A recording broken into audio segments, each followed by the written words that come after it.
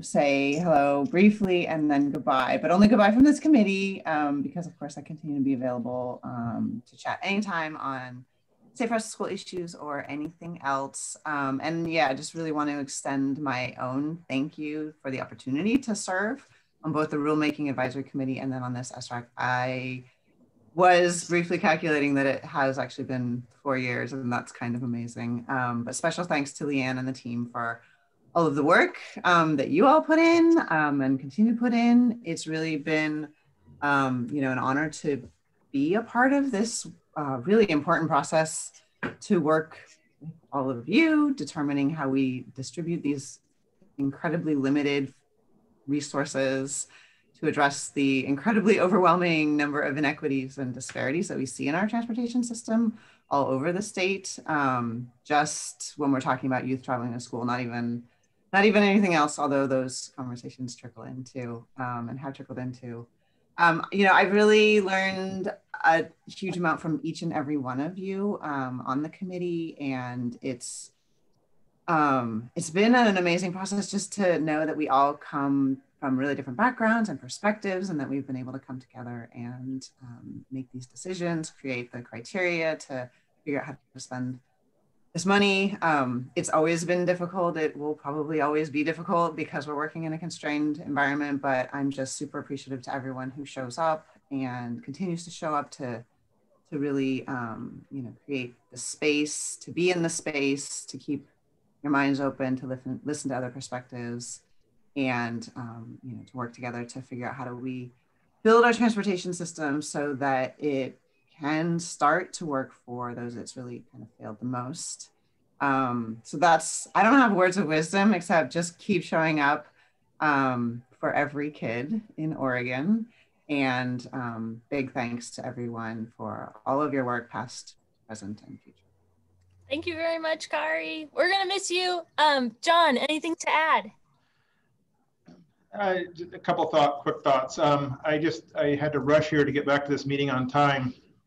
Um, I had to step down from this committee because I was assigned to lead our emergency operations center in Jackson County for both COVID and for the fire, the massive fires that we had down here. And I had to rush back here because I was I was leaving our vaccination clinic that we stood up today for the first time. We're trying to get 6,000 vac- vac- vaccinations done today. And as I was just driving back, and I appreciated that it's it's nice to be involved with worthy causes. It's nice to be involved with things that make a difference and matter. And I consider Safe Routes to be one of those things. I consider this program to be one of those things. And so thank you for all of you for all your hard work. I think you, this does make a difference. This is a good thing that you're doing. And uh, thank you especially to Leanne and the ODOT staff. I think uh, this Safe Routes program somehow kind of cherry picked some of the best talent we have around. And uh, I think you're being well led committee. So thank you for the ODOT staff, especially to you, Leanne. And uh, thank you for all for all your good work. Um, it, this is a worthwhile cause, and so keep keep doing it and uh, good work. So thank you all for the opportunity. Thanks, John and Kari. We will miss you both. Um, we also have the opportunity to say thank you to our chair and vice chair for the last two years. Mavis Hartz uh, was our chair and Kari was our vice chair, and we actually elected a new chair and vice chair through our online forum um, which will be Rob Inerfeld will be our chair and Carolina Areta Gonzalez will be our vice chair.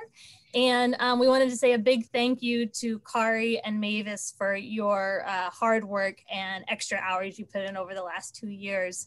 Um, and since we did give everyone a chance to provide some of their wisdom, Mavis, any words to say before you pass the torch? I think Kari hit it keep showing up, doing your good things, and here we go. Here we go. I love it. All right. Nice.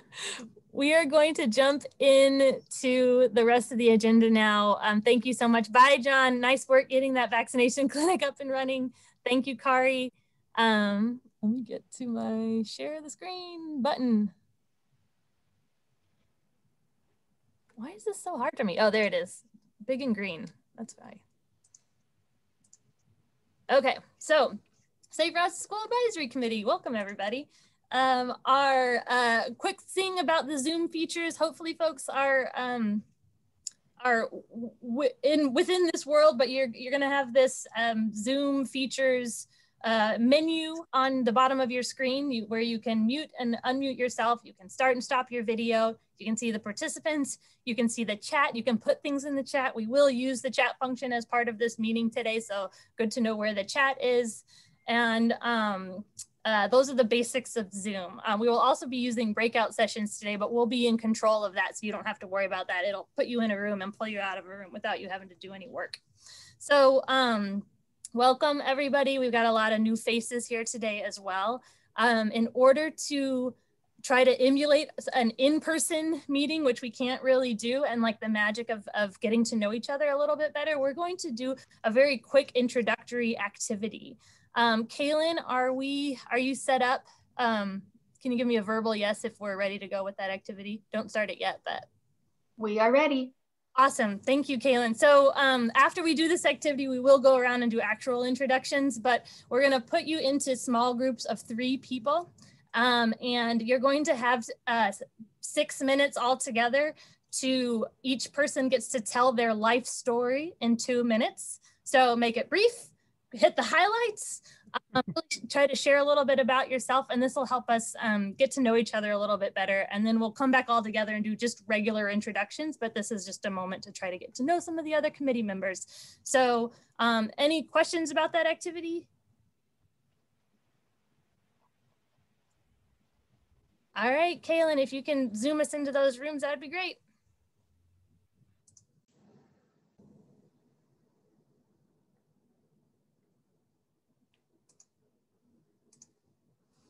Ah.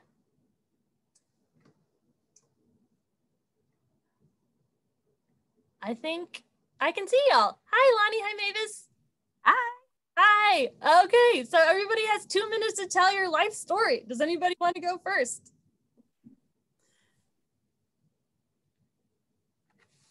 all rushing to do it. yeah, I know. all right. I model. I will model a two-minute life story. Go for it. You ready?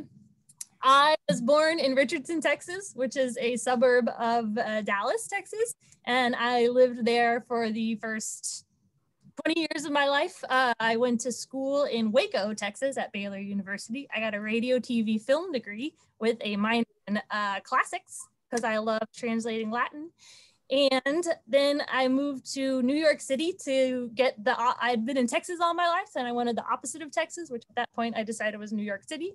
Um, I met a bunch of outdoorsy people and worked at Eastern Mountain Sports, which is like the REI of the East Coast and met a bunch of people who had through hiked the Appalachian Trail and decided I was going to also through hike the Appalachian Trail.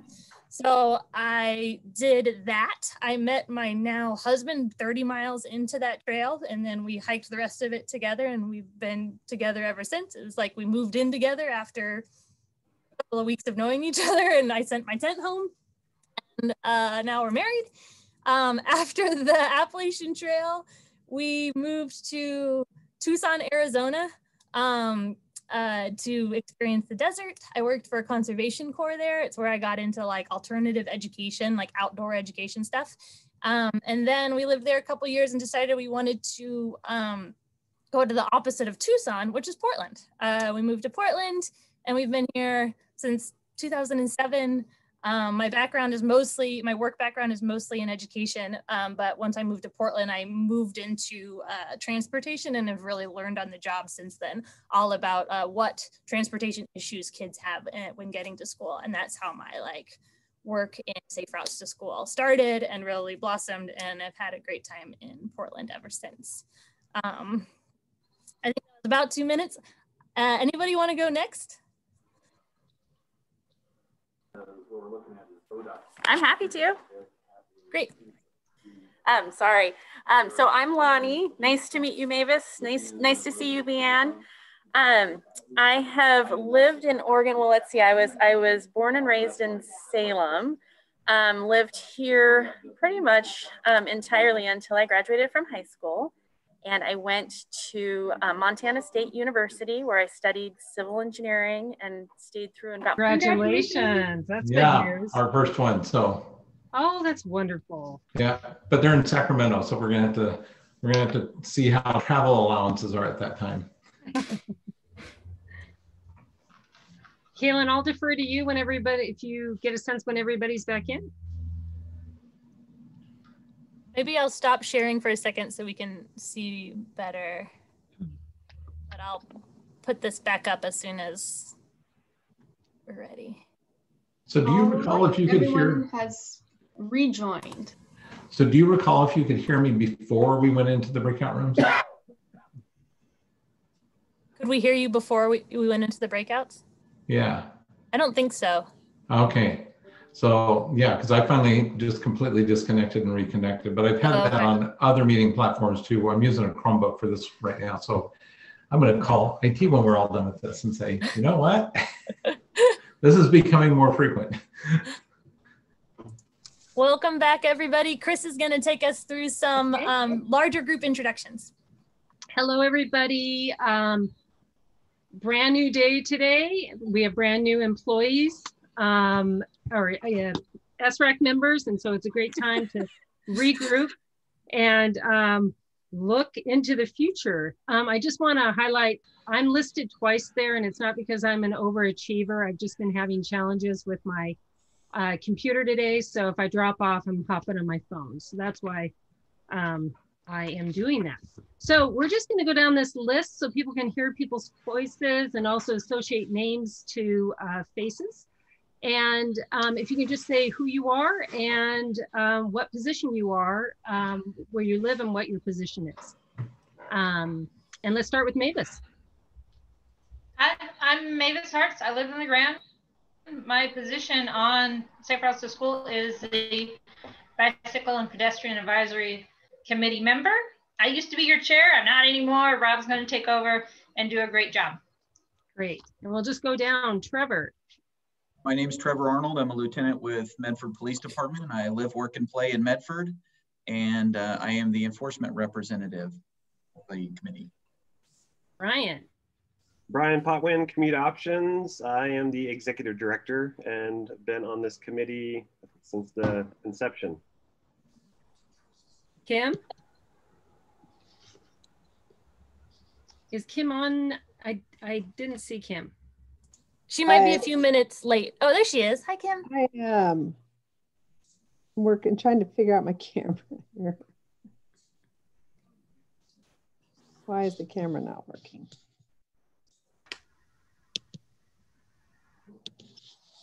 Hey, there you are. There, hello. So Kim, you're Bend and you are the school district Yes. representative. Welcome. Hi. Hi. Uh, Dana.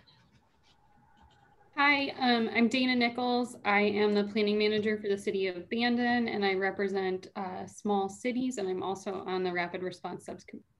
Thank you. And the new chair, Rob.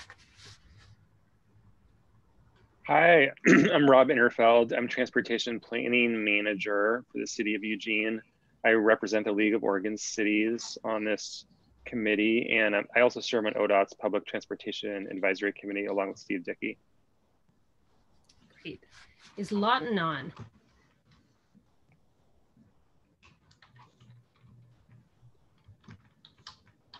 I don't think we've heard from Lawton yet. Okay, I can we'll check check- my email. He may have told me he couldn't make it, but I think he can be here, but I'll double check. Okay, we'll circle back. Uh, Scott. Oh, good afternoon, everyone. Scott Bull, Oregon Department of Education, Pupil Transportation Division. Uh, I've been on the committee for four years or so, maybe. And a big shout out for to Trevor for keeping my kids and grandkids safe in Medford. Lovely. Steve. I'm Steve Dickey. I live in Salem. I uh, am uh, the transit representative, but also serve on the Public Transit Advisory Committee as well as Rob said. Luis. I'm Luis Ornelas, uh, OTSC member, and uh, I live in Portland, and I'm retired. Thank you. And uh, because we have uh, two new members, I think our challenge today is to catch acronyms. So OTSC is the Oregon Transportation Safety Committee. Uh, and I'll just try to be on that to catch acronyms as they're flying through uh, uh, space. Carolina, the um, uh, vice chair. Hi, yeah, my name is Carolina Ireta Gonzalez, and I work for the Oregon Health Authority as a policy analyst in the environmental health section, um, more focused on the built environment and infrastructure and um, the connections to health equity. And I'm the health representative. Thank you. Lauren.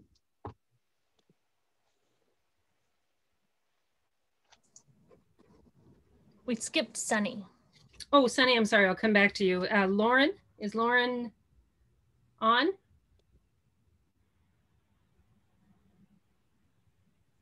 Okay, I'm I'll gonna double check my email and see if uh, heard from Lauren.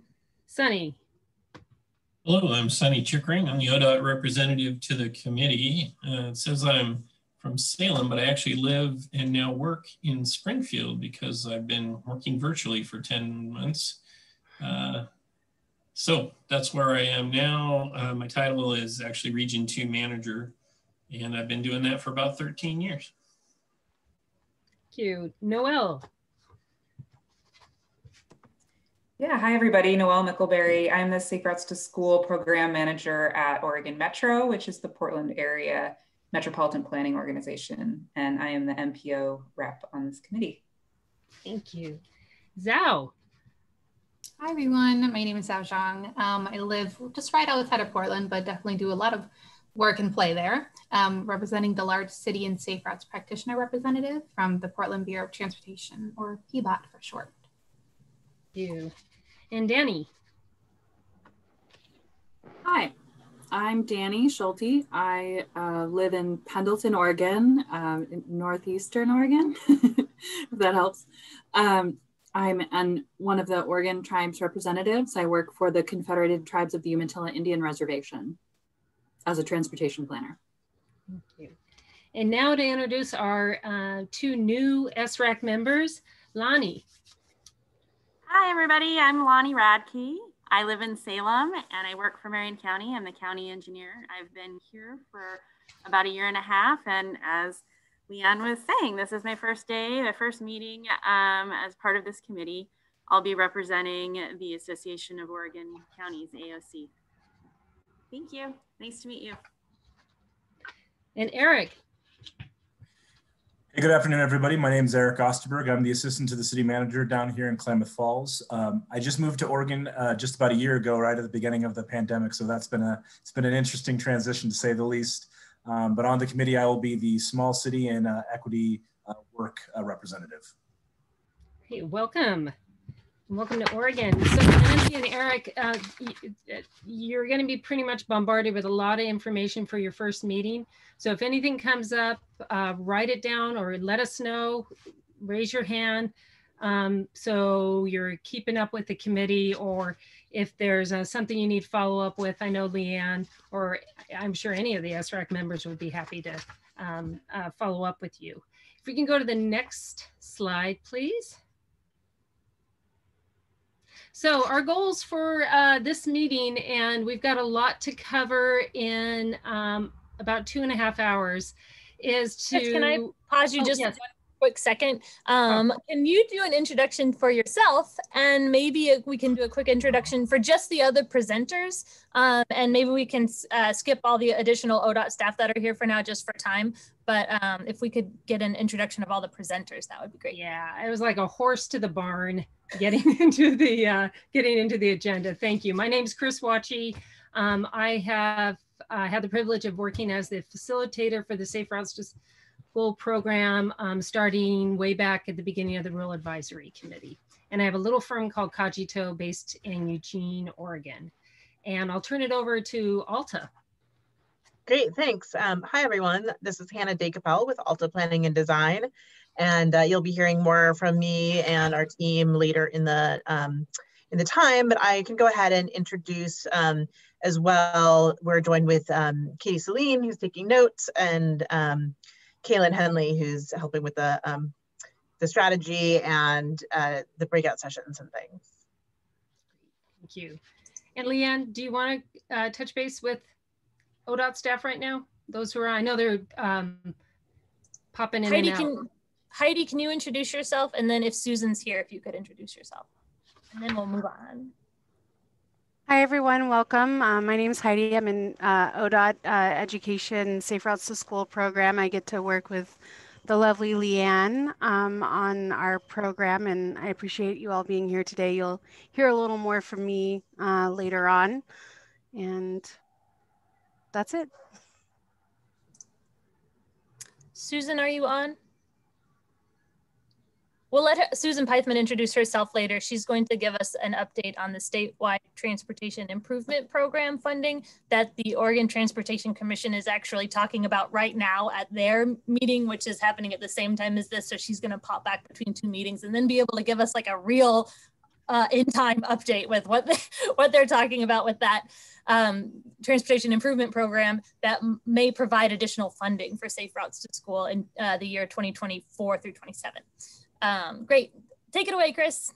Okay, and then um, for the other ODOT folks, we will circle back and have an introduction just in just a little bit because um, we have a nice representation from uh, other folks in other uh, departments and programs here. Um, so uh, as I was saying, uh, we want to affirm the SRAC operating fundamentals. And this is something uh, that we'll go into greater detail about, but it's a good place at the begin, the first meeting of the year to uh, revisit a couple key um, foundational pieces for the SRAC. Um, we'll review the uh, look back in time at 2020, some key elements there, and then look at what's planned for 2021 and input on program direction. And in more detail, if we can go to the next slide, please. Um, in just a moment, we're going to ask you to approve the October meeting minutes. Um, we will see if anyone signed up for public comment. As I mentioned, we're going to talk about the SRAC fundamentals, um, and that's really looking at the group operating agreements, doing a quick review of those um, as you did in your homework, and then also looking at the SRAC guiding principles. And we'll talk about that in just a moment. Leanne's going to talk about lessons learned from 2020 um, and, and give you some key uh, overviews and some uh, information and some data about that. And then we move into SRAC 2021 overview and Heidi's gonna paint the picture of what you can expect uh, the committee's focus to be in 2021. What's really exciting is um, Hannah and the Alta team have been doing a lot of work on looking at a strategy for the program. And uh, we have an opportunity to review all the good work that um, Alta has done and their expertise in doing so, and then also look at the um, input that the SRAC provided in the homework too on the program direction. Um, that will be a breakout room that we'll do once again. And then Heidi will take us into the March meeting overview, what to expect then. We'll do a quick uh, review as we do at all meetings, how the meeting went, what could be improved um, what to enhance the next time, and then um, give you some dates and then uh, wrap it up as we move we, we move on. I do want to say that between uh, 2020 and 2021 overview, we will have a break in there. So um, I encourage people, if you can, uh, to keep your cameras on because it's more cohesive for the meeting, but understanding people have things to do and may need to get up and uh, leave as they would if we were in person. So um, moving on.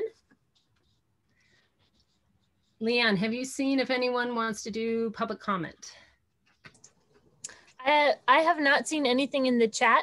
Um, and Chris, we do still need to approve the minutes. So while we're approving the minutes, if you would like to provide public comment, um, please put your name in the chat. And then as soon as we're done approving minutes, we'll call on you. Thank you very much. Great.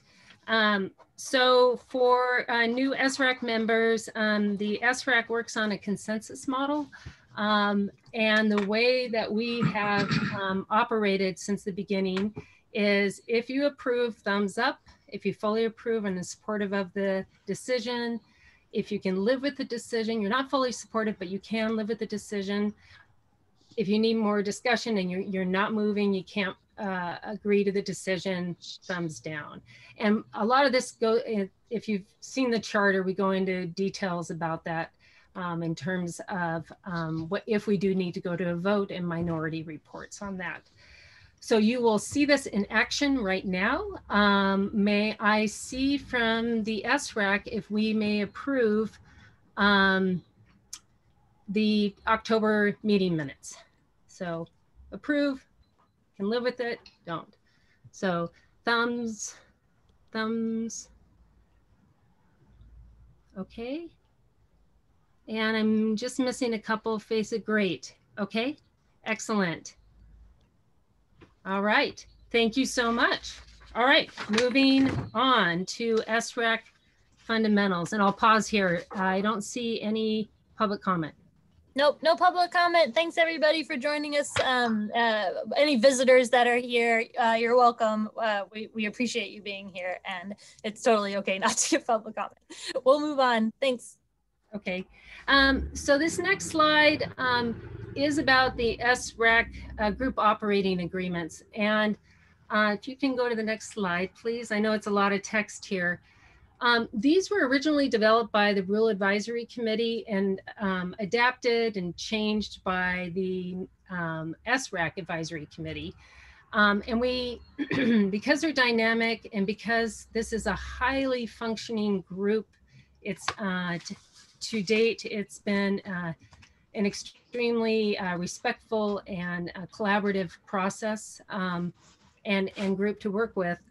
Um, it's also good to always review these because they're dynamic and they change. And so with that, we asked in the homework um, if there were any changes to the group operating agreements. And so I'm just going to go through these quickly if you'll humor me. That attend all meetings, which uh, we've had a really high rate. I don't know if we've ever looked at the percentage of people attending, but it's been extremely high. Um, and now via Zoom. Um, Come well prepared to all meetings to respect each other's time and commitment. Three hours is a good chunk of time. Uh, start and adjourn the meetings on time unless otherwise direct discussed. And um, I think Leanne, you've done a really good job about keeping us on track as well. Uh, listen to understand, scoops, honor, honor agenda topics and times. Listen to understand, you know, have that curiosity about other people's perspectives. Everybody is an expert in something, as we know, because we just heard the wealth and breadth of uh, people's expertise. Um, and this next one um, morphed over time, which was create and contribute to that, to a brave space. And the definition is a, a space that continue, encourages dialogue, recognizes the differences or the difference and holds each person accountable to do the work of sharing experiences and coming to a new understanding. And it's it's hard and sometimes or, and a lot of times it can be uncomfortable. And then the feedback, what we received from the homework, um, quite a few people said they while they appreciated be your own equal opportunity monitor, no dominating, that suggested change it to say step up and step back, recognize the importance of your contributions as well as making space for others. Um, another person added, recognize if discomfort occurs, but lean into it. Um, in the funding allocation too, and in our discussions, uh, the uh, thinking statewide, not just from your own perspective, even though you may be representing a small city, it's not your small city, for instance, it is all small cities. Um, an analytical approach, facts are your friends. Um, question personal assumptions, avoid interruptions and side conversations, which are a little harder now that we're on Zoom. Um, advantage of reason, this is one that's rather important of taking advantage of reasonable requests of ODOT staff to provide information needed for well-informed decisions. Um, there's Heidi and there's Leanne um, pretty much running the show. Um, be recognized before speaking. And typically um, we have put our name tags up, but if you can raise your hand, that would be helpful. Uh, recognize, if one disagrees, do not let it become personal. Success depends on participation, ideas, ask questions, draw each other out, stay out of the weeds and the swamp, getting down into too fine a detail if we're working on a higher level. And someone had a question about what does it mean to listen for the future to emerge? Um, that originally came from when the program was being developed and moving forward. And so someone just wanted some more information about that. Um, because be your own personal monitor and not dominate, I'm gonna pause and see if anyone has any additions to this or any questions about it, or if they are ready to say, yeah, we can move forward and agree to these group operating agreements. So may I get a sense um, just from people's thumbs if you are ready to accept these or you need more discussion about it? See thumbs, I see some thumbs, thumbs, thumbs, great. Kim, if I could see you, would your thumb be up? There it is. All right. Great, thank you. All right, the first agreement. So um, that's how we do it, Eric and Lanny. that's good. Okay, so then we um, asked about uh, guiding principles, and these are important to uh, pay attention because the, the genesis of these six guiding principles um, really helped create the foundation, the, the approach, the uh, integrity of the program, uh, the, and, and also serve uh, to inform funding decisions or funding priorities that um, will go, whether it's education or it's construction. Uh, in talking with Leanne, we knew that we would get a lot of feedback on these. I'm going to highlight high level things that we heard, but this warrants discussion um, more than we have time. And so our request is um, as you go through this, if you're willing to be on a subcommittee to further refine these and help um, bring it back to the SRAC in March, that would be helpful. And if you could indicate that in the chat. Um, these are not in any particular order, um, but they do serve as a pivotal piece of the SRAC's work and um, commitment to, to the funds. Um, maximize resources. I'm not going to read through this because you saw this in your homework.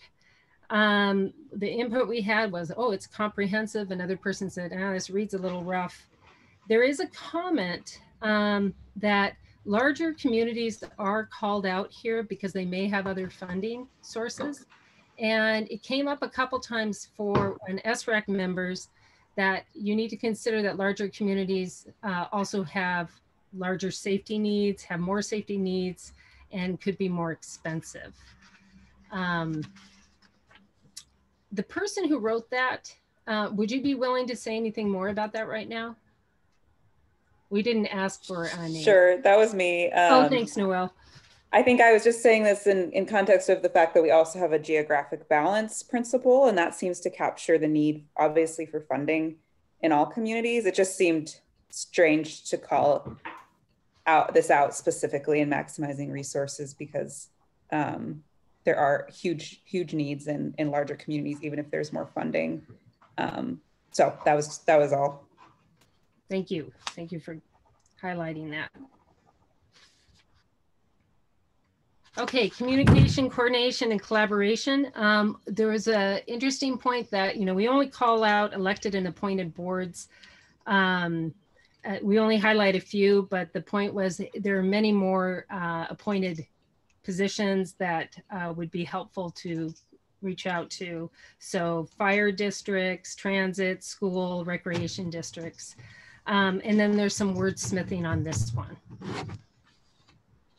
So for health, um, uh, there was a concern, we'll reword it, and then um, the we haven't really defined health equity. And so there's some um, refinement and some clarity requested in these um, in, for this particular um, guiding principle. And please, by all means, if you want, if you want to add something to it or something comes to mind, or you want to round out what I'm just giving a high level on, please tell me. Uh, geographic balance here again, um, uh, Noel, I think you uh, reiterated your point uh, in this as well, what you just uh, you phrased. Um, there is uh, some suggestions um, how funds are equitably spread out um, for geographic balance. And then for safety, I think this is going to be a big conversation. Um, there was suggestion to incorporate some of the Vision Zero language uh, into the safety for the um, uh, for Vision Zero for the um, essence of what Vision Zero is and why Safe Routes to School is a key component of achieving Vision Zero. Um, there is conversation about do we even need to say enforcement versus engagement? And then students of all abilities, that, that needs to be broadened to understand the backgrounds of, of that comment, that there's much more there um, and giving extra weight to communities of color and um, uh, indigenous folks. Um, so, so there's there's discussion that needs to happen here that that warrants uh, more insight and thought put into it than we have uh, the time right now to do. Finally, to bring it home, uh, social equity. And again, I think that the majority of comments came around um, marginalized communities, uh, that the term is not working well for a lot of people. Um, some folks wanted to reframe that in a different way, um, call out race, and then also clarify what we mean by breakthrough outcomes. So um, I know this is like the beginning of a movie and you're seeing a trailer of it, but um, it, I think it echoes what I said that it does warrant more discussion on it.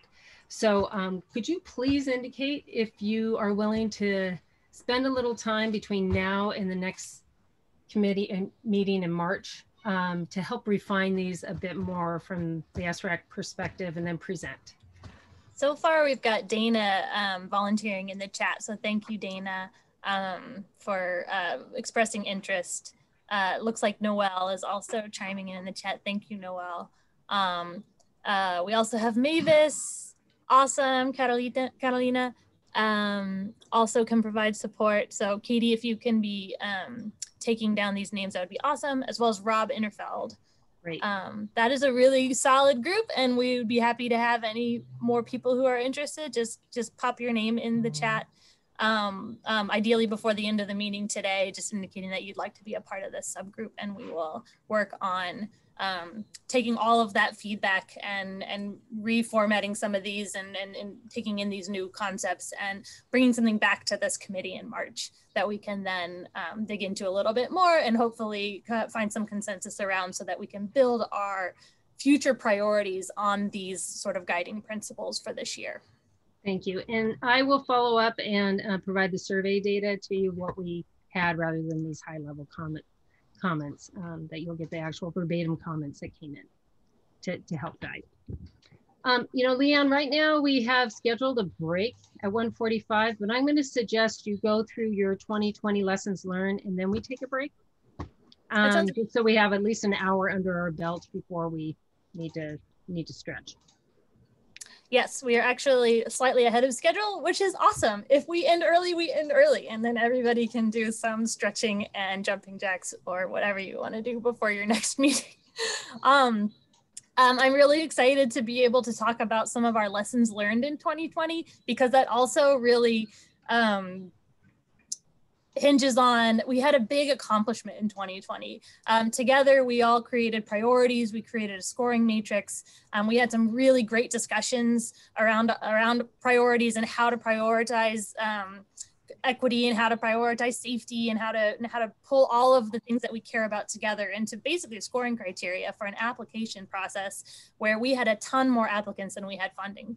Um, and this group was able to, to really help uh, recommend that project list, which was ultimately funded. So here is a map that I want everybody to feel really um, proud of. Over the last three years, we've actually been able to fund two funding cycles of Safe Routes to School construction projects, um, equaling about, it's 16 million plus 28 million. And for whatever reason, my brain's not doing that math right now, but it's like 45 million, somewhere around there.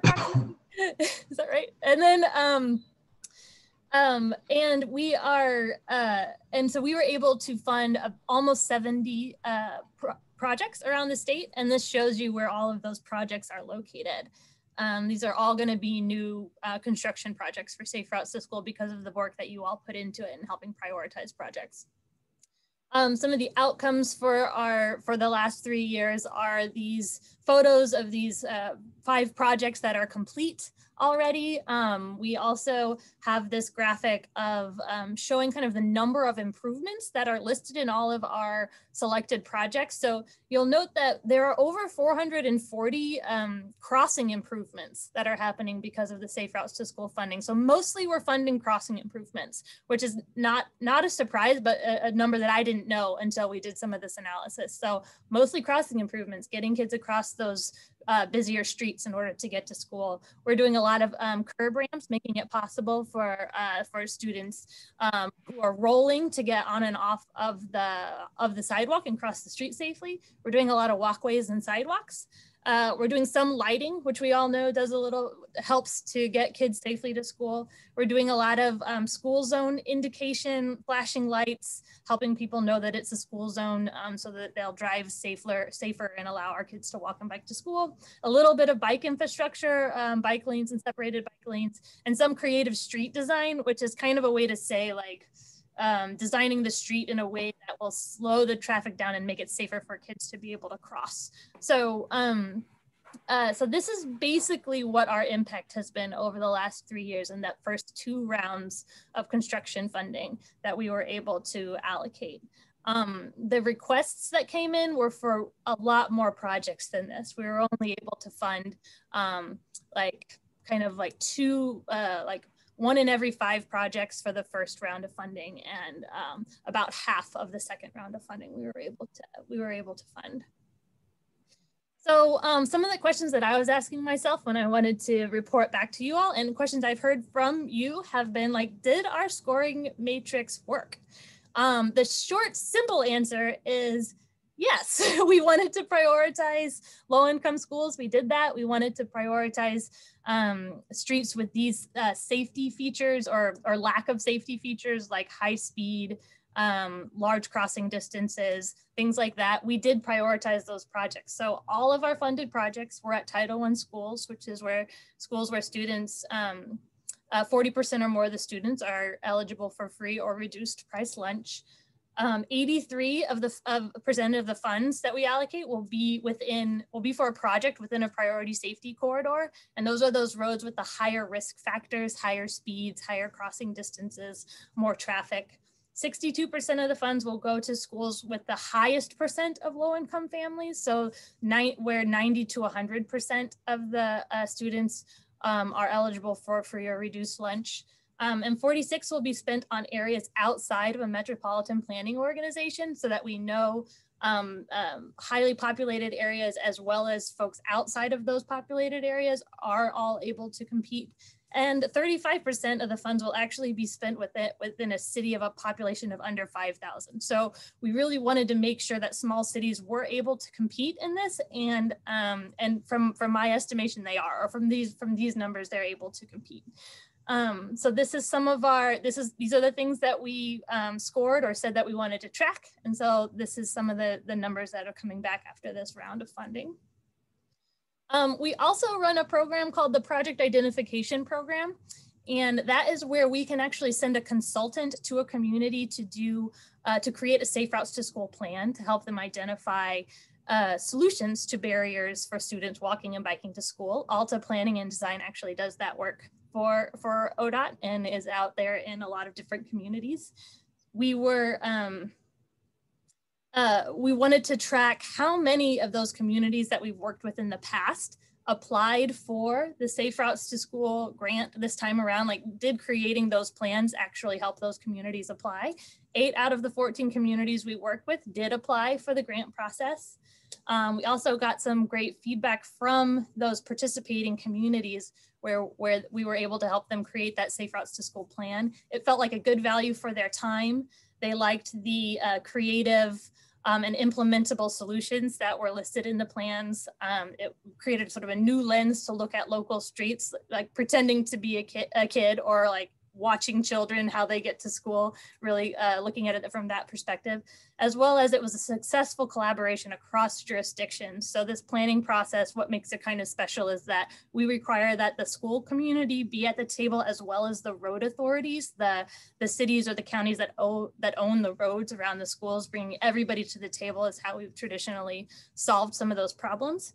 Um, and we get to work with 20 new communities in 2021 and 2022 to create 20 new safe routes to school plans um, in those communities. So that is a thriving program. We're getting a lot of great feedback from um, and another outcome of this um, great safe routes to school program that we run.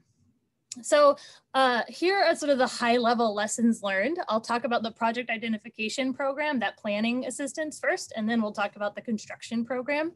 Um, we're gonna spend the rest of this year talking about the education side of Safe Routes to School pretty much. So we're not highlighting it here. So just hold your horses on that bit. But so I'm gonna do the planning and the construction lessons learned. So um, out in all those communities doing those safe routes to school plans, uh, we learned that um, communities benefited from varying levels of detail in their plans.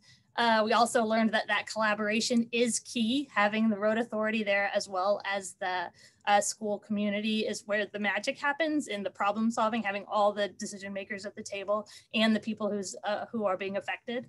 Um, there is interest in, but lack of clarity around sidewalk alternatives. Uh, we've been working a lot with Alta staff as well as some internal ODOT staff to figure out what are some of the sidewalk alternatives that we can recommend as part of this program. Um, also, there's a, there are a lot of opportunities for really quick fix style projects like signage and striping. Um, a lot of the barriers that people talk about are just like, we need a sign here, or we need a stripe here to make the road a little bit more narrow, or there's no parking here so that we can see the kids when they're crossing the street. There's some really simple stuff in those plans.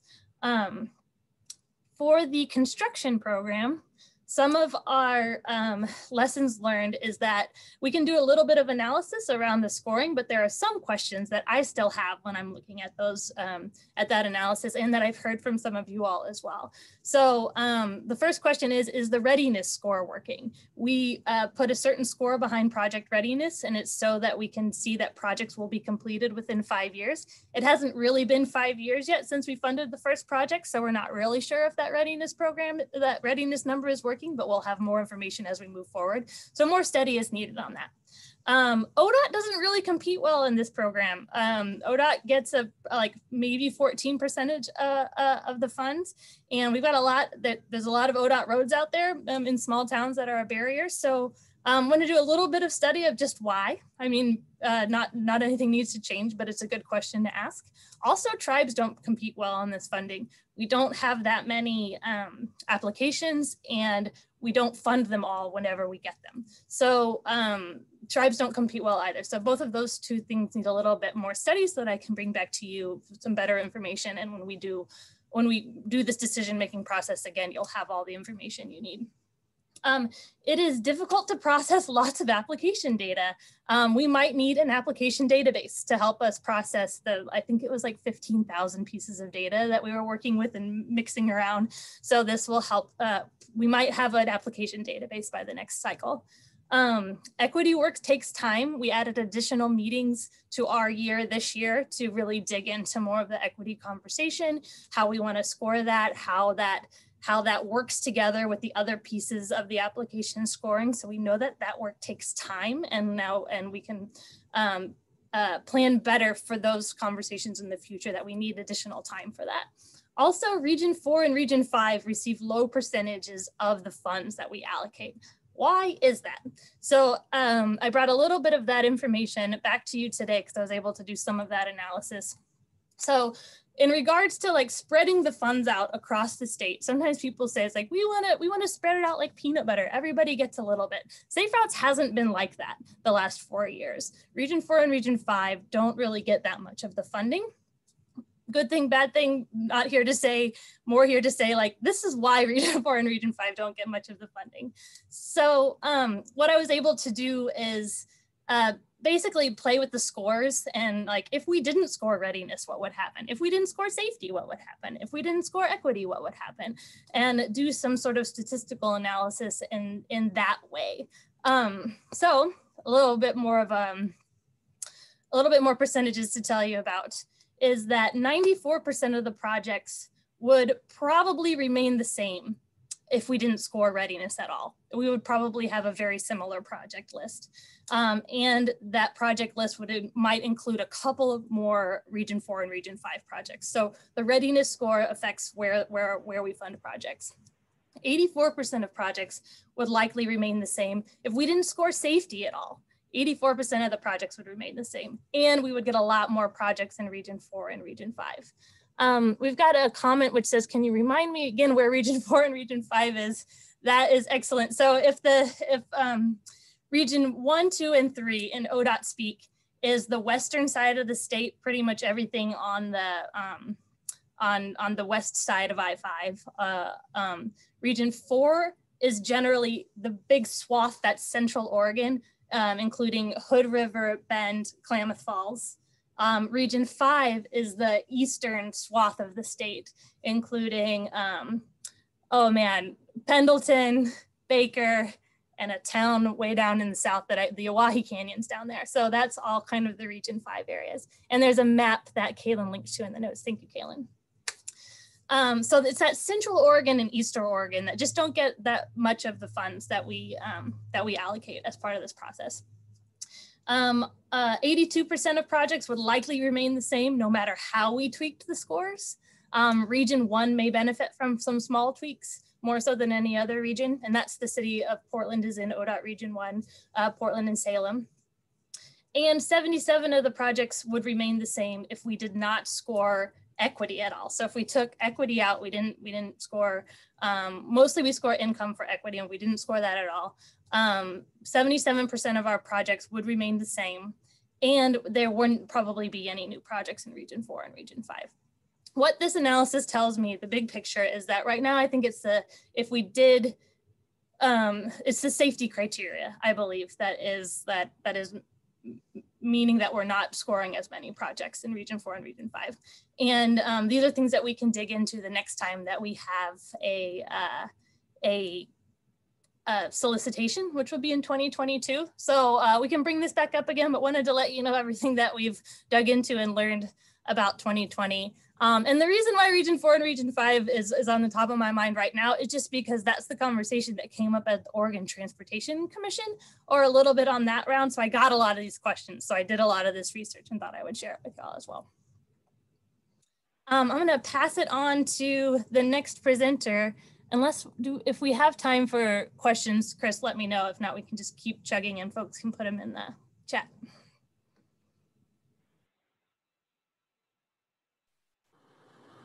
I think we have time for questions because I, the next presenter uh, is Susan, I believe.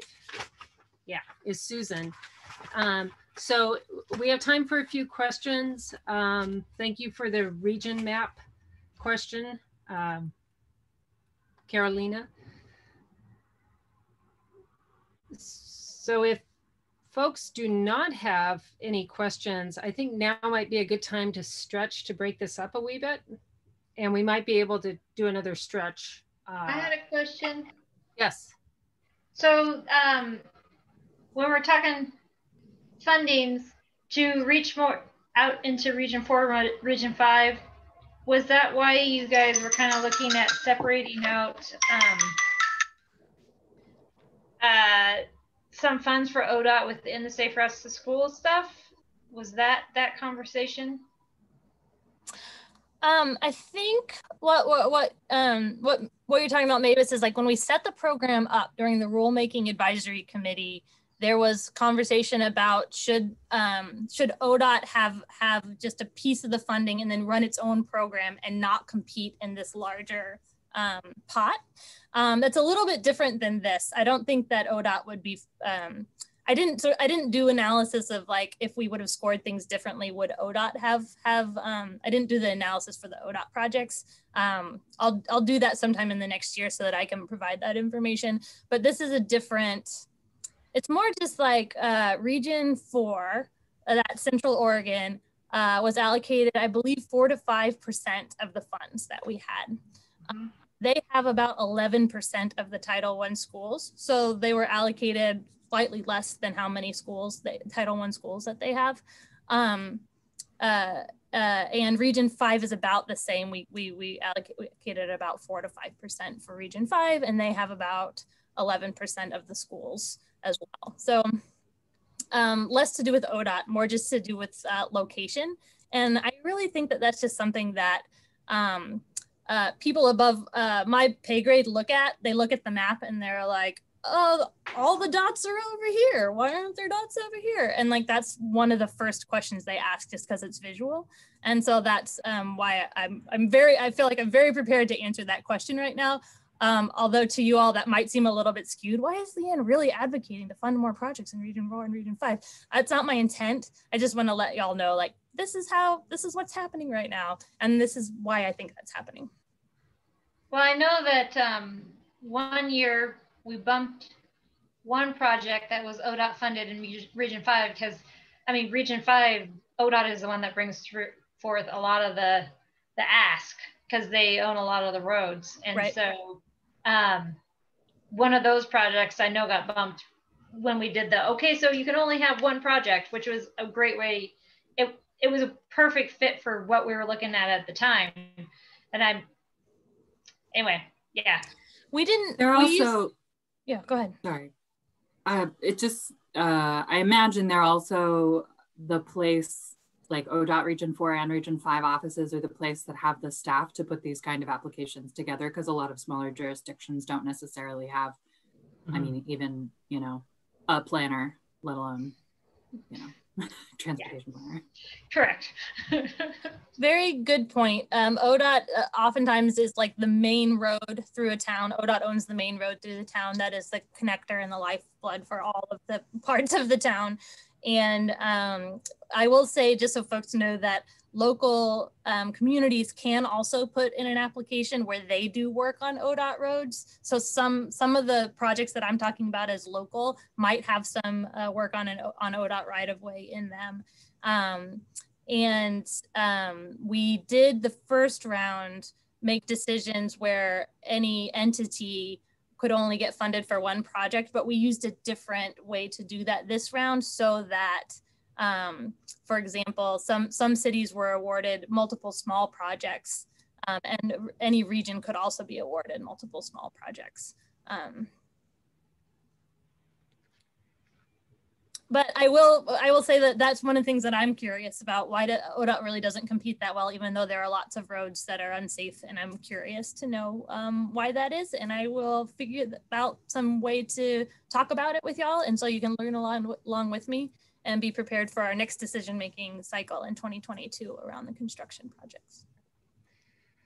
I'm going to suggest we take a 10 minute break here. I see Susan's on, um, so we'll still be ahead of schedule, um, but we can kind of keep with the way the agenda's unfurling a little bit. Rob, you had a question though before we break? I mean, I can wait till after the break if, no, if that would be preferable. Okay. I have a few comments and questions. I'll try to not take too much time, but I think that um, yeah, I, I think Mavis made the comment like more small towns are more likely to have ODOT roads. And so if more ODOT projects get funded, got funded, that could mean, I mean, those towns may be in the western side of the state too, but it will lead to potentially more in regions four and five. I mean, I, I think the issue of ODOT competing well or not is interesting. And, you know, as you know, Leanne, I've raised some concerns about the ODOT projects tend to be a lot more expensive too. And I know that we don't really factor that into our selection. So it shouldn't necessarily impact how competitive ODOT projects are, but I do, I would like for us, as, as the ODOT projects start to get built, like the one in John Day, I would like for us to examine those and look at like, how do they work out? Were they able to stay in budget? Like one of the concerns I've raised is that if these roads don't have stormwater, we, once like a curb goes down, then it becomes like a big stormwater project in addition to a sidewalk project. And then it just like gets bigger and bigger and bigger um, and I'd love to see ODOT figure out how to do more value engineering around some of these. I mean, they do bring other dollars to the table and they have a higher match percentage requirement, I think. So I appreciate that. Were there, I'd also be interested, Leanne, and if, if it was easy to do, just to see the breakdown by population too, because you said like there's 11% of Title I schools in each of those areas, but is it all, is it also 11% of the population? Because the, the schools may be a lot smaller? Um, did and you know did we get as many applications from regions four and five? Like did they as a percentage of the applications received how, you know how did they do? That's another question.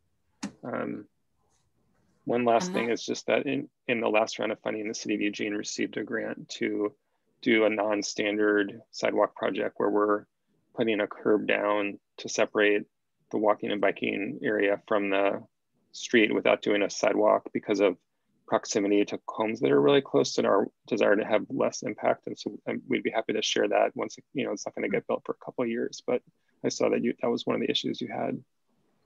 Um, and also, I mean, frankly, like one of the reasons we proposed doing it that way too was because it was more affordable. So, um, which wouldn't have, again, like that wouldn't have affected how competitive it was because we don't really look at the cost as our part of our scoring. But we felt like it was just the, sort of the right thing to do to keep the project more affordable and have less impact on property owners. So I'd, I'd love to see ODOT with its, you know, vast design resources, like figure out like how to be creative on some of the, these kinds of designs too. That's all. Great, Thank you. Thank you. I don't I don't have the numbers for the uh, off the off the top of my head, but these are things sure. that definitely bring back to you. So like the breakdown of the population and um, how many applications did uh, region four and five submit. Those are very those are Thank easy you. numbers for me to get. I just don't have them right in front of me right now. Okay, thanks. And I would encourage committee members, while it's still fresh, because we're just coming out of that, um, the, the last construction process, any other comments you have, because we're pivoting now and going into education, to really be mindful of them and send them to Leanne so we can circle back at the time um, for this next, for the construction in 2022, that, that these things are brought up again. Um, I also do have a, some maps that uh, answer some of these questions pretty specifically, um, and I can I can find them pretty easily and and share them. Um, may or may not be before the end of this meeting, but um, okay. The, So and the, can- the Noel, your comment in the in the chat, I have a map that shows that. Uh, Noel asked if we could provide some Title One school percentage by their region with their funding allocation. Okay, so 10 minute break. Come back here and Susan Peithman, if uh, Susan, you can start about five minutes earlier on your presentation, that would be great. So stay fresh, stretch, and we'll Yeah. see you at 2:20.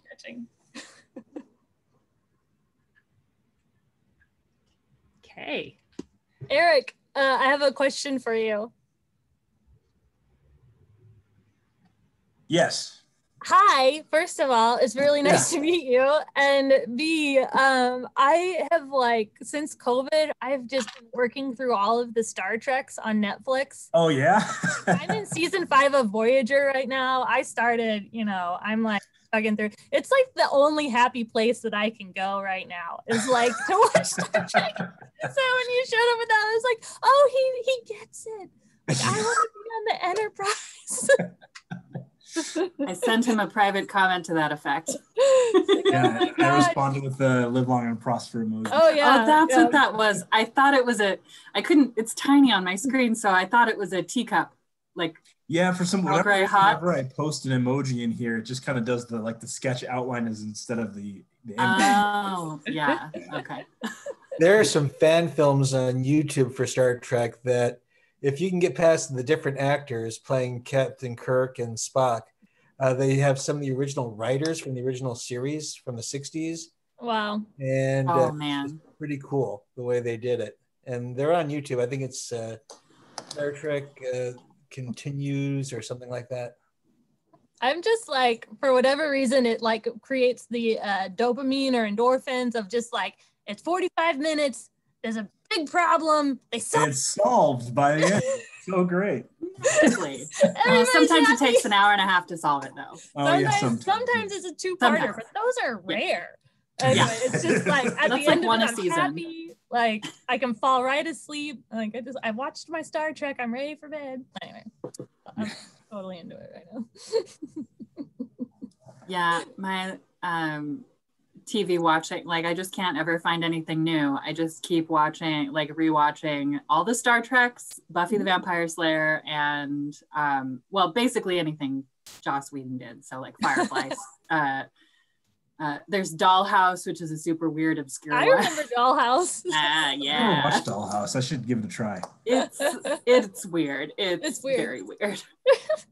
I, It's intriguing. it had a though. short run, which Yeah. Is probably fine. Well, what's your what do you have a, a, a, a particular love of Star Trek, Eric, or just like just loving it right now? No, it's something that I used to love a lot. I just haven't I haven't revisited it in a long time. Actually, Well, a long time being like four years. Yeah. Like all of college took over my life, and then, you know, coming out the other end is like, oh yeah, I used to like things. Yeah. well, I really enjoy That's your backdrop. It makes it like it weirdly calms me down. I'm like, all right. Yeah, I've not. I've never. minutes. I've so I've seen TNG. I've never seen Deep Space Nine or Voyager though. I love Deep Space Nine. It's my favorite. Okay. I couldn't get through the first episode of Deep Space Nine. Oh, it's so Uh, weird. It's I and and to be fair, first episodes are always difficult. Like they they have their own like they're they have a goal, right? Like show the producer or like the you know the money people the hook. But uh I I yeah, maybe I'll try it again. It's so Voyager is excellent. Yeah, I'm in I'm in Voyager. Voyager right now. But I love the next generation. It's like I have a whole theory about it of like psychology and how we're all like we're all the enterprise and we have all the characters inside of us and we all come to that little table and then like the counselor says her thing and then you know it's like number one he's got his ideas. And then the captain's like all right I got it figured out. And then the ship goes and it's like I'm the ship. I got all the things. It's weird. It's weird. I'm a little too That's into it right now. The, my um I never could really watch the original series, but the um the I don't know if you guys are familiar with that um in Portland. I don't know who did it, but a group like a theater troupe did Star Trek in the Park in North watched Portland. that. I yeah, I only went to one the last one actually. Um, I didn't hear about it before that, but yeah, up in up in St. John, they they did uh, the last one they did was the Trouble with Tribbles. Yeah, that one's awesome. Yeah. yes, good. That was so good. And the Unipiper showed up before the before it started to play the Star Trek theme song on bagpipes while wearing a Star Trek uniform. Amazing. There is an episode in Deep Space Nine where they um, they overdub or film over uh, the Trouble with Tribbles episode um, with the cast of Deep Space Nine participating. It's uh, oh, I, yeah, that's a good one. I think Deep Space Nine is one of the more creative uh uh series. It also has some weird like magical stuff in it and some like fun like religious stuff from like the the, the planet. Like there's some religion in there. Anyway, it's super fascinating. There's uh, something from Star Trek. next to a wormhole. There's a Star Trek Discovery episode that actually talks about how the Tribbles were created. Interesting. What? So for the, Oh, I loved. Discovery so much when I started uh, watching it, but I we only had like a seven day free trial of Yeah. the whatever uh, yeah thing it was on, and so I only got through like three or four episodes, but it was so good. Okay, so the other thing that I'm kind of like cracking up right now is that I'm recording this meeting and totally forgot to pause it for the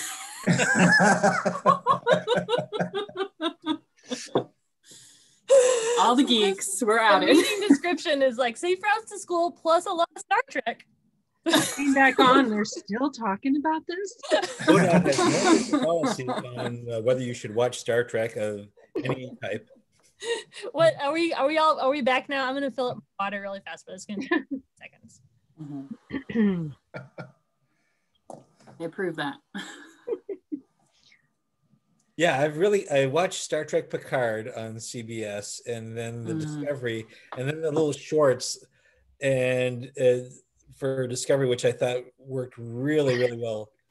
And since you don't have it with Discovery, I forget the name of the officer, but she had a temporary assignment where on a research vessel, and one of her science team was coming up with an idea of coming up with a food source, and he totally disobeyed all her orders and created a fast breeding tribble that can be used for food. and they had to destroy the ship. It was their first command, and they had to destroy the ship.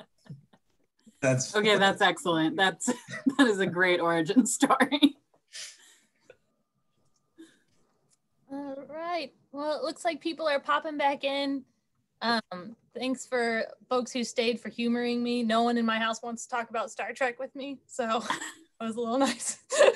Love Star Well, now Trek. you know who to I'm call. Watching it. We, I missed the whole Star Trek conversation. Oh, I think there's a subcommittee to be Any made. Anytime. Anytime. Oh my god, I'm watching, I'm watching Voyager right now. I'm in Voyager. Uh-huh. Well, we'll have to talk about it later. Yeah, we will. I'll probably pick it up again once I finish with Buffy. Yeah. I just think it's like filling a need of like that that problem solving. It's like there's a big problem, they solve it, and everyone's happy. So it's like, oh, endorphins. And they look good doing it all the time. Yeah. All right, just a few more minutes. I think folks are coming back at 2:20. Leanne, I just sent you a wee note. Oh, and Leanne, are you, am I just saying ping? Are you managing the PowerPoints? Yes, I'm managing the PowerPoint, and we can be sure to um, we'll do a, a, a, a there's a little more ODOT staff in the in the second half of the meeting. So and and we've got some folks back in this meeting, so we'll do a quick round of ODOT reintroductions again. So uh, Peithman, Susan Peithman, and we'll um, Oh, and the other ODOT staff. That's what you meant, that we forgot to, to, we didn't have time. We were trying to jump into the meeting. So we'll get to the other ODOT staff that are in the room too uh, before the second half of the meeting. Um, you want to go ahead and get started on that now, Chris? Should we do it? Uh, why don't we wait till everybody's back? I think we got one more minute. Okay. Susan, can you tell us how the meeting's going? The OTC meeting? Man, they're so behind, and I was hoping that Karen right now is talking about the non-highway allocation, and so I've been trying to like toggle back and forth, and I can't like mute this meeting, so it's actually been this like merging of two meetings. Oh, it's annoying, but uh, they, I, don't know what's gonna happen, and it's gonna happen while I'm talking.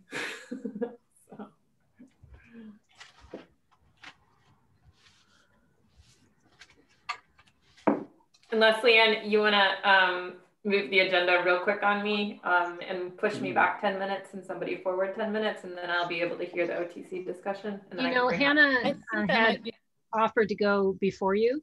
So Do you guys mind if I do that and then I'll, okay, I'll, you'll see me when I pop back in. Yeah, text me if there's a problem. Um, thank you, Hannah, for being flexible. The flow won't be great, but Susan will get more information and be able to report back.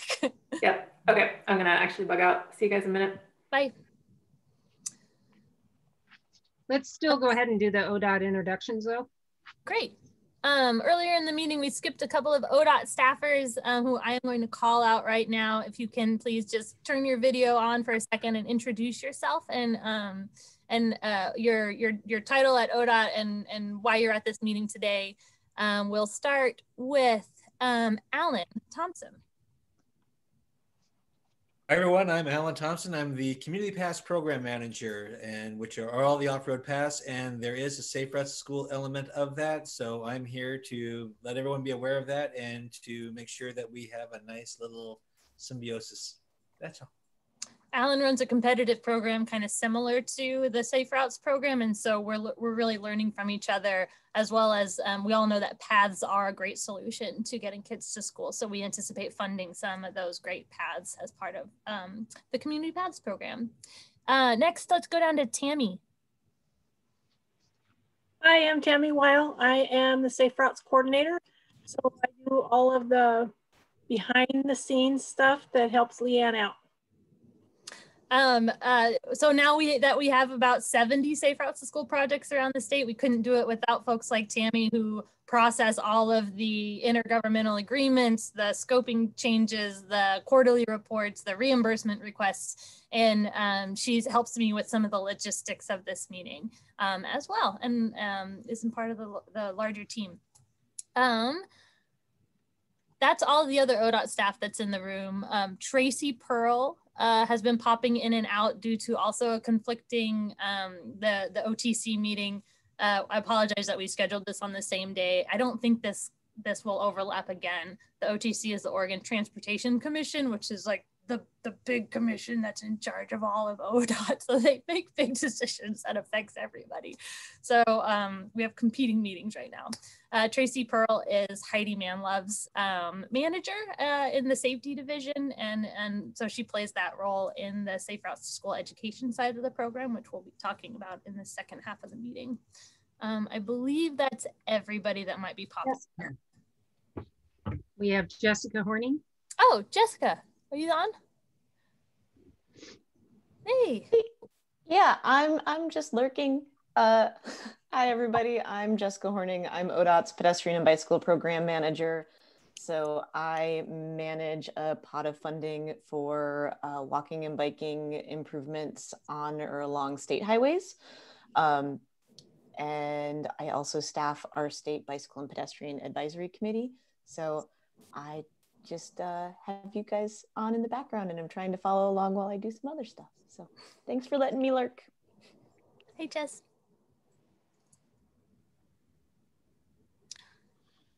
All right, I will share my screen one more time. and I will skip over all of Susan's great slides. Don't get freaked out. She can do that quickly. And we'll move on to um, Hannah uh, to tell us a little bit about the education work that Alta Planning Design is helping us with this year. Great. Can everyone hear me okay? Fantastic.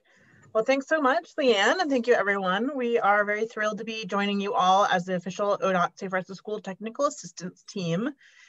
And um, we refer to our, ourselves as the consultant team that is um, providing additional support for communities, both grantees and throughout the, the state. And I'll talk more about what that means. Um, we refer to ourselves as the TAPS or the technical service providers, technical, uh, technical assistance providers.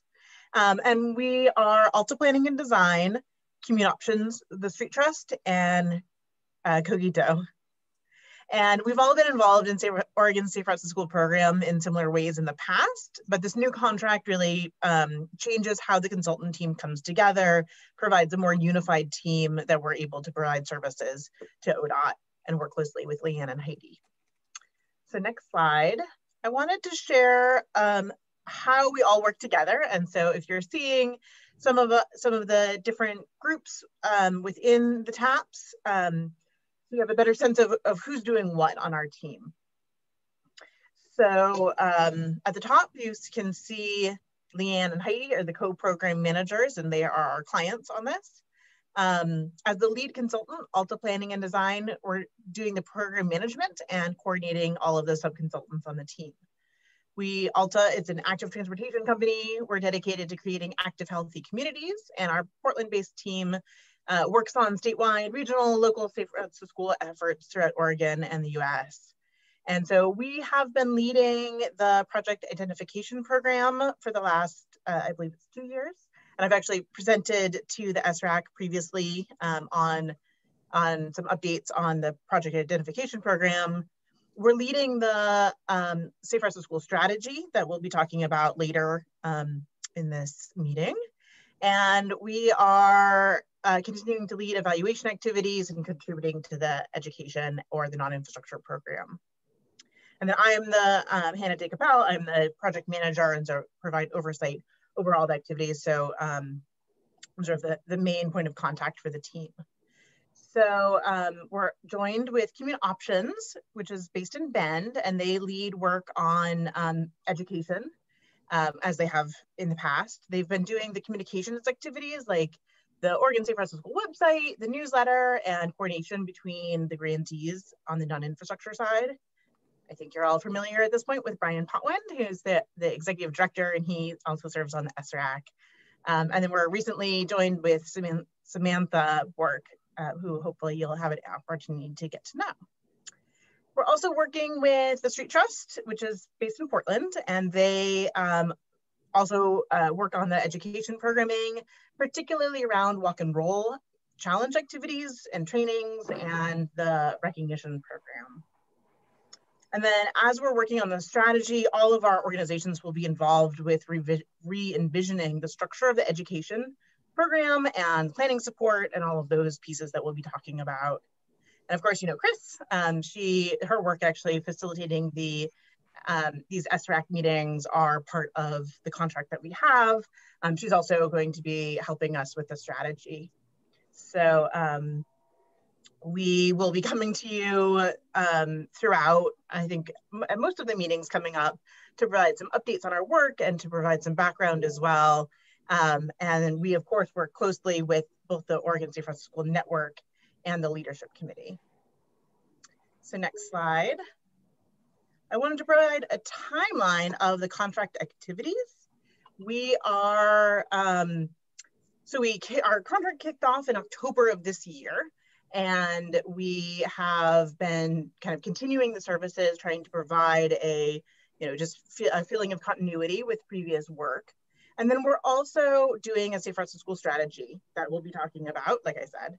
Um, we are drafting that this month and then into the, um, well, the plan is to draft it by the, uh, in February. And then we're going to be developing work plans that come out of the strategy that are really guiding our work on the consultant team through September 2022.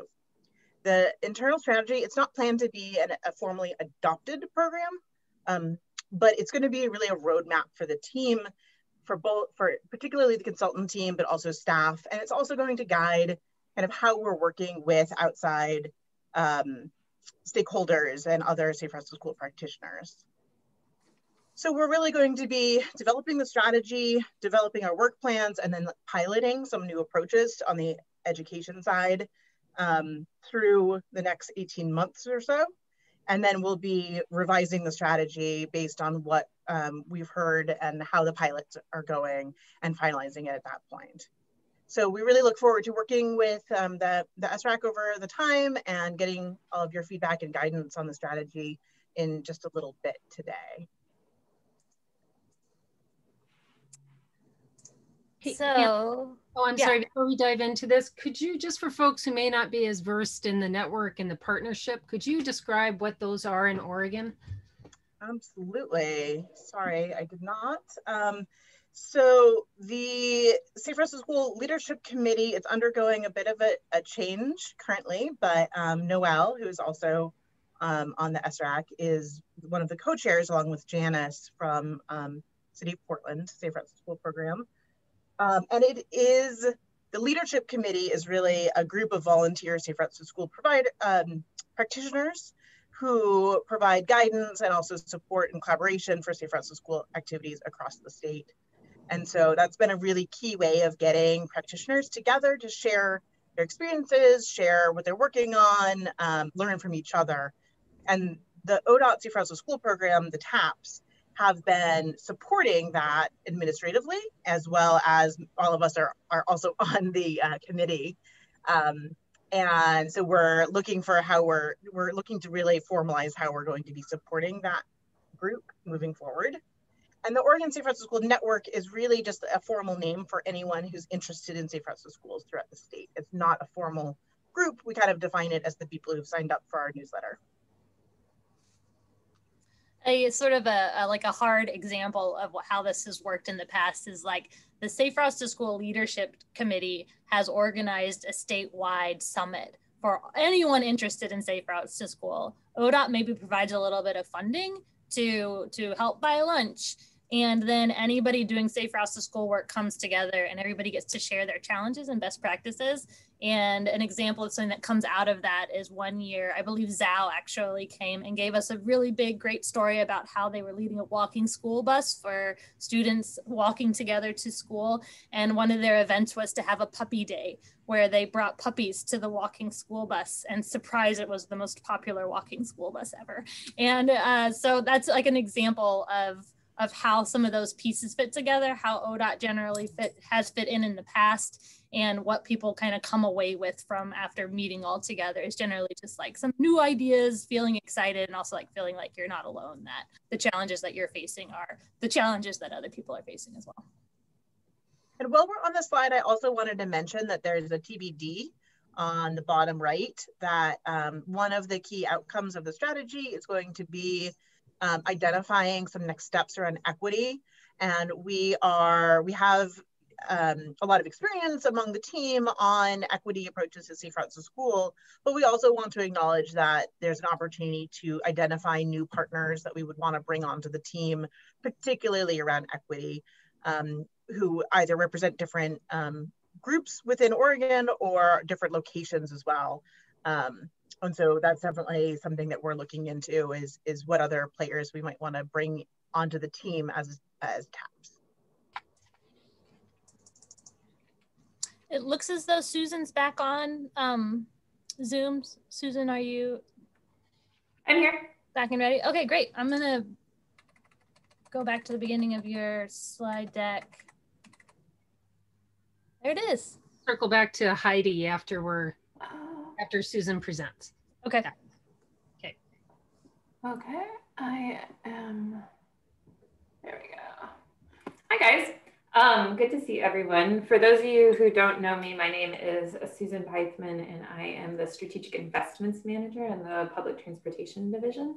So a good chunk of my job um, includes a lot of spinning plates and keeping things going, but it also includes money. So I'm here to talk to you guys about money. And um, we just, I have been kind of flipping back and forth between this and the Oregon Transportation Commission meeting, which they didn't exactly, they didn't come to a decision, but they weren't supposed to come to a decision, but they didn't uh, say that we had to halt the process. So we are able to proceed forward. So I, I'm able to kind of give you a little bit more context here. So next slide. So I'm here to talk about 24 to 27 STIP. So the STIP is basically kind of where all of our federal dollars live and we bucket it, next slide. Um, we, it's our capital improvement program. So it's where all the federally funded money lives. So there's not exactly like, this isn't where the Safe Routes to School um, House Bill 2017 dollars that um, the infrastructure dollars that you guys allocate lives. However, we like create a line item in there for like transparency, but we don't actually have to put the projects in the STIP, which is a good thing because we have a lot of process for kind of federal projects. Um, so, but there's five major buckets within the STIP. So um, fix it, enhance safety, non-highway, which is where all of the bike, ped and transit projects um, live or funding lives, I should say, and local government. Next slide. Um, so most basically the Oregon Transportation Commission has authority over a lot of the discretionary federal dollars in the STIP. And so we've just gone through a process for the 24 to 27 STIP, which we actually start getting rolling on in terms of project development in like the summer of 2021. So it's, we do a kind of a three-year project development process before the STIPs or the time frame for the STIP. Um, and so they've just gone through a decision making process on how much money to put in those buckets. And then the Public Transportation Division has gone through a process with stakeholders to um, identify what those sub allocations are. So I'm just going to walk through those with you guys right now.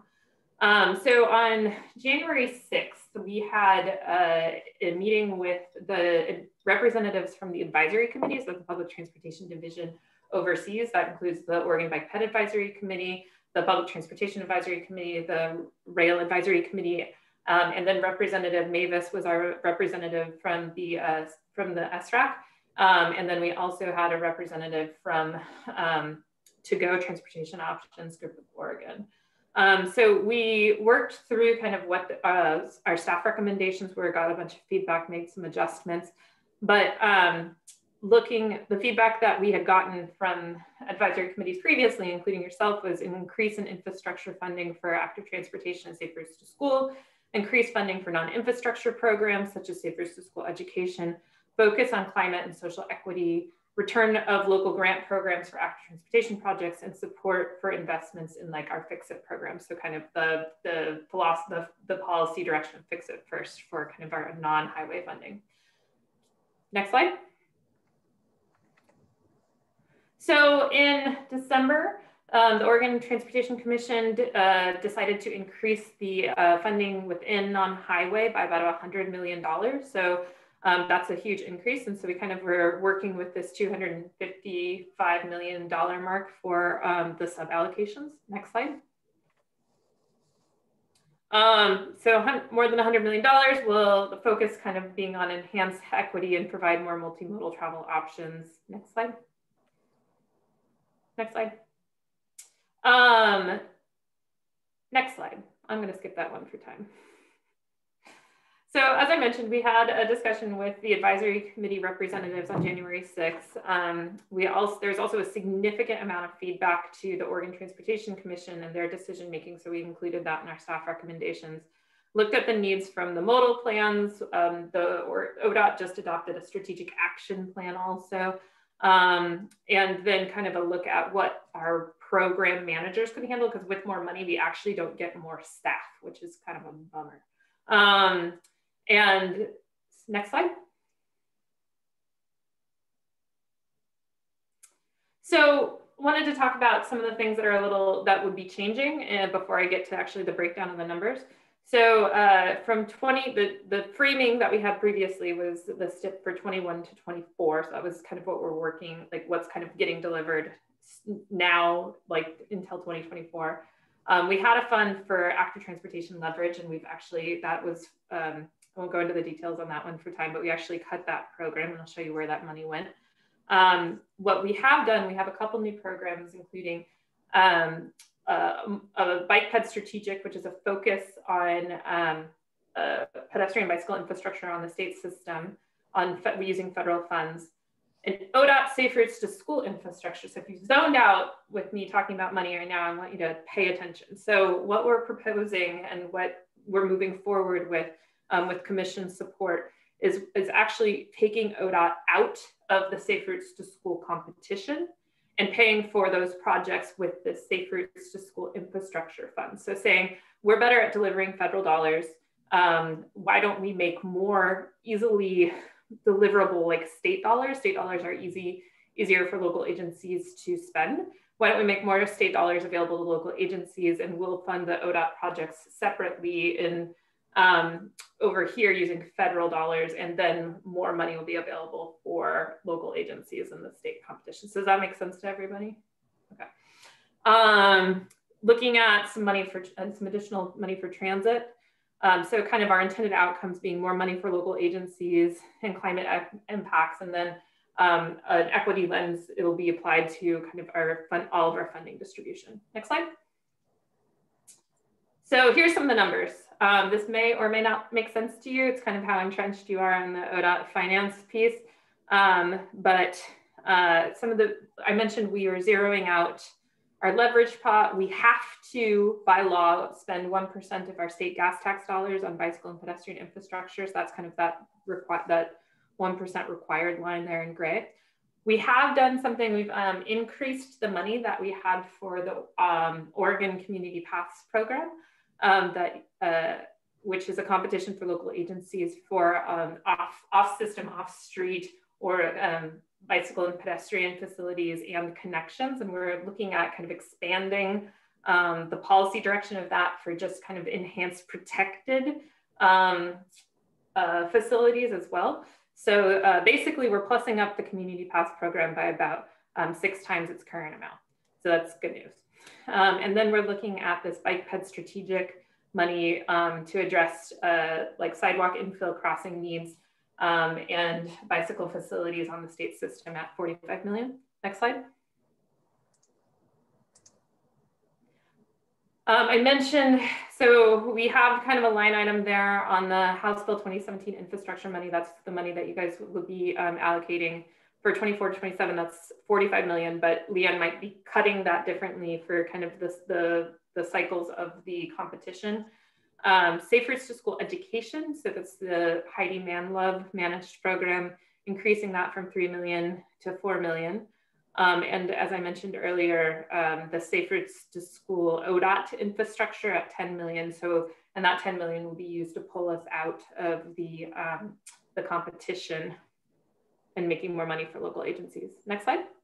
I'm going to pause for one second. Um, Danny asked, uh, would shifting the ODOT projects to a separate pot include eliminating locally driven projects on ODOT roads, or would that remain in the state competitive pool? Um, uh, local agencies can submit projects for, uh, for ODOT roads, and that would still be allowable in the Safe Routes to School program. Next slide. That's a great question. Um, then for our public transportation funding, looking at increasing our kind of our mass transit pot, um, it's a distribution to transit agencies around the state, increasing our elderly and disabled um, allocation from 37 to 50 million. Um, and then uh, transit vehicle replacement, um, which is with a focus on how do we incentivize electrification of the transit fleet. Next slide. And then with transportation options, um, so looking at increasing that pot to seven and a half million. So um, it looks like this huge jump, but it's actually our full budget for that's like 5.5. So just trust me, it's a $2 million jump. And um, the reason for that um, increase uh, for transportation options is with uh, the governor's executive order um, around greenhouse gas reduction, um, looking at uh, the, the, most likely um, implementation of a statewide eco rule um, to, for employers to, statewide work for employers to encourage um, people to drive less. So next slide. Uh, and then we just, we had a million dollars for passenger rail um, facility planning. Next slide. And so what I just was trying to listen to, um, the, our division administrator, Karyn Criswell, was just at the Oregon Transportation Commission. Um, it's, it's not generally these sub allocations that I just described to you. The OTC usually allocates like the big pots, those big buckets um, but the sub-allocations tend to be an agency um, it, at the agency's discretion. However, um, the OTC can always say, no, no, we want to make that decision. And so we were showing them our staff recommendations uh, just now and got positive feedback. So we're proceeding forward um, with what you just saw. So um, at this point, you can consider those, um, you can consider that we'll have a $10 million ODOT Safe Routes to School program, pulling ourselves out of the competition and increase in a million dollars for the Safe Routes to School education program um, and uh, going up to $36 million. Um, and we'll probably find some more money to add to plus up um, the Community Paths program, which is the competition for local agencies. Next, next slide. Yeah, that's it. That's it. Um, thank you very much, uh, Susan. And um, I think that one of the, like what Susan's talking about, it, it's um, Heidi and I's goal for the past year has been trying to set safe routes to school up so that we can grow, so that when there is additional funding that comes our way in situations like this, we have created a program that is easily scalable and feasible. And um, since Susan also mentioned that it doesn't uh, generally doesn't increase staff whenever programs grow um, or traditionally, we have really been uh, working with ALTA to try to create a sort of contract system to where we can we can create a, a, structure and a base for our programs that that that will be able to grow when these types of decisions are being made. Um, so we're really excited about the education program and some of the things that we're thinking about now are really to try to set it up so that we can incorporate more funding down the line um, with that uh, interrupt uh, mavis can I ask Mavis if she has anything to add? She was around the table for the um, January 6th meeting with the advisory committee representative. I, I think that uh, you're very well informed. Good job. Thanks, Mavis. yeah. Uh, yeah, no, I mean, I'm excited about that much funding coming towards towards walking and biking. So I'm stoked. I am a little leery about breaking the stuff up, but I understand that there's other reasons. Um, as I was telling a couple other people, I really like the designation of uh, Safe Routes to School because it really resonates with like the ACTS and a few other people that to kick money that way because it's such a, a warm and fuzzy. But yeah, Um, I don't see any uh, questions in the chat, and we have a tight agenda for the last um, bit, but it looks like we do have a Rob Inerfeld hand up. Chris, can we take a couple questions now? Yeah, go for it, Rob. You know, just one thing I want to ask is, is there any funding for Safe Routes to School projects that are not in the right of way? That, you know, will any of these programs be, because that's one of the real significant limitations of the grant program that we have now. Yeah, it would be the community paths program. Um, and something in terms of engaging with that. Um, and so that's that uh, 36 million of off systems. So Rob, that's also the place we'll be taking, if there ever is any Connect Oregon money, we'll be like putting the Connect Oregon money there. It's also where mm-hmm. the bike tax goes. Um, and so uh, something that it's totally appropriate from an SRAC. Um, from my perspective, it's totally appropriate for SRAC to engage um, and you know if you, if you feel as though strongly that um, safe routes to school criteria should be included in some way for that community paths program it's totally appropriate to make that comment or write that letter or something as we're Mhm. going through the development of the next round of the community Yeah. paths program. I mean, if you could check in with us at the right time on that, that would be great. And then just a quick observation is that, well, two things. One is that this STIP covers a three-year period, even though it seems like it's four years. So I just, I, I didn't realize that until recently. So I want to make sure people are aware of that, which is great because it means more money per year. Yeah, When, years. when you, when you total up the funding for ODOT facilities and non, and non-ODOT facilities, it works out to like around 80 million each Mhm. and not, not including, not including the public transportation. And so you know, I just kind of think to myself, like, is that the right? And I know the OTC kind of blessed that today, but is that the right mix? Like, if you think about the charge from the governor to reduce greenhouse gas emissions from transportation, I would guess that, mo- you know, most people when they leave their house, they're not about to walk on an ODOT street. And so, if we're trying to get people to walk and bike more or walk to the bus, I would think that we would want to invest more in local communities and not on the ODOT facilities. It's just a thought. And Yeah. I mean, of course, there's other funds available through MPOs and that sort of thing. So this isn't everything. And and we definitely just to answer that, we definitely have kind of gone through that that policy discussion for sure. Um, we are also trying to take it from a statewide perspective. Like there are like for example, Region Four and Five main streets tend to be a lot of ODOT facilities. Um, and the ODOT network is only at about 45% completion right now. The other thing that I think that we can do with the ODOT money to really help support local communities is really focus the funds on crossing, like crossings, bundling a lot of crossings. Um, because yeah, people don't don't and for good reasons want to walk and bike on the state system in a lot of places, but they need to get across it. So Thanks. Yeah, no, Rob, I always appreciate your perspective on this. Um, thank you guys for letting me share this information with you. Um, really appreciate the engagement that you had on the STIP earlier um, in the fall. I think that helps a lot. So this is just trying to demonstrate some of the impacts of your letters and engagement. Uh, Susan, just a quick question uh, to Rob's point about at what time would they uh, engage back in on the community paths program? Do you have a Do you have a ballpark?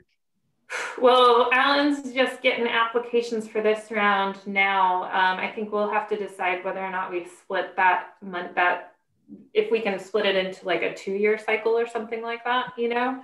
Um, and so if we're, we're, able to split it into a two-year cycle, I, I imagine like we'd absolutely need to get the development of any program changes within the next year. So if you, I would just put it on the 2021 planning calendar for checking in with us on when it would be appropriate to engage on any sort of criteria changes. Great. Thank you. Mm -hmm. Any other questions from the SRAC? Well done toggling between two, two meetings and doing a presentation as well, Susan.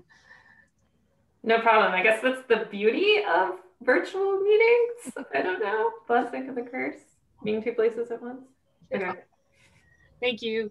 Bye. All right. So we're going to circle back now to Heidi to talk about um, what the SRAC uh, focus will be uh, for 2021. Yeah, um, this is a tough act to follow from Susan's great news and uh, Alta uh, uh, introducing themselves with this, uh, with our joint advisory, um, I mean, sorry, joint uh, um, uh, technical assistance. Um, so both of those presentations kind of lead to um, our goals of this year uh, in terms of the SRAC work plan. Um, so Hannah kind of talked a little bit about the ODOT um, work plan. And so to, today I'm just going to give a brief summary of some of the things to look forward to, the exciting stuff we're working on this year with you guys. Um, so, so I'm excited um, because we get this gives us a chance to take a deep dive into the education side um, and really think about uh, how the funding structure is set up and um, so we'll be going over planning for the next um, competitive funding, which as you heard, it's likely that I will um, be receiving um, more funds on the side of um, Safe Routes for, for grants. Um, also uh, thinking about our new uh, joint technical assistance and talking about how this can be more streamlined into, into the work uh, for both Leanne and my program. Um, so we'll be reviewing the current funding cycles and then ask discussing with you um, and asking some recommendations on the next funding program splits and how we set this up. Next slide. So that's a general breakdown of the kinds of things we'll be working on um, in the next uh, few months. Um, a little more explicitly, um, this gives us this opportunity to expand um, the Safe Routes education side um, in ways that um, it's never been uh, able to before um, because of lack of funding. Um, so I think it's time for us to look at the current program structure and do it at a time in between these funding cycles where we can really change things up um, and do some really, really, really amazing things. Uh, so Leanne and I have done some uh, forecasting of what we would like to do and some brainstorming.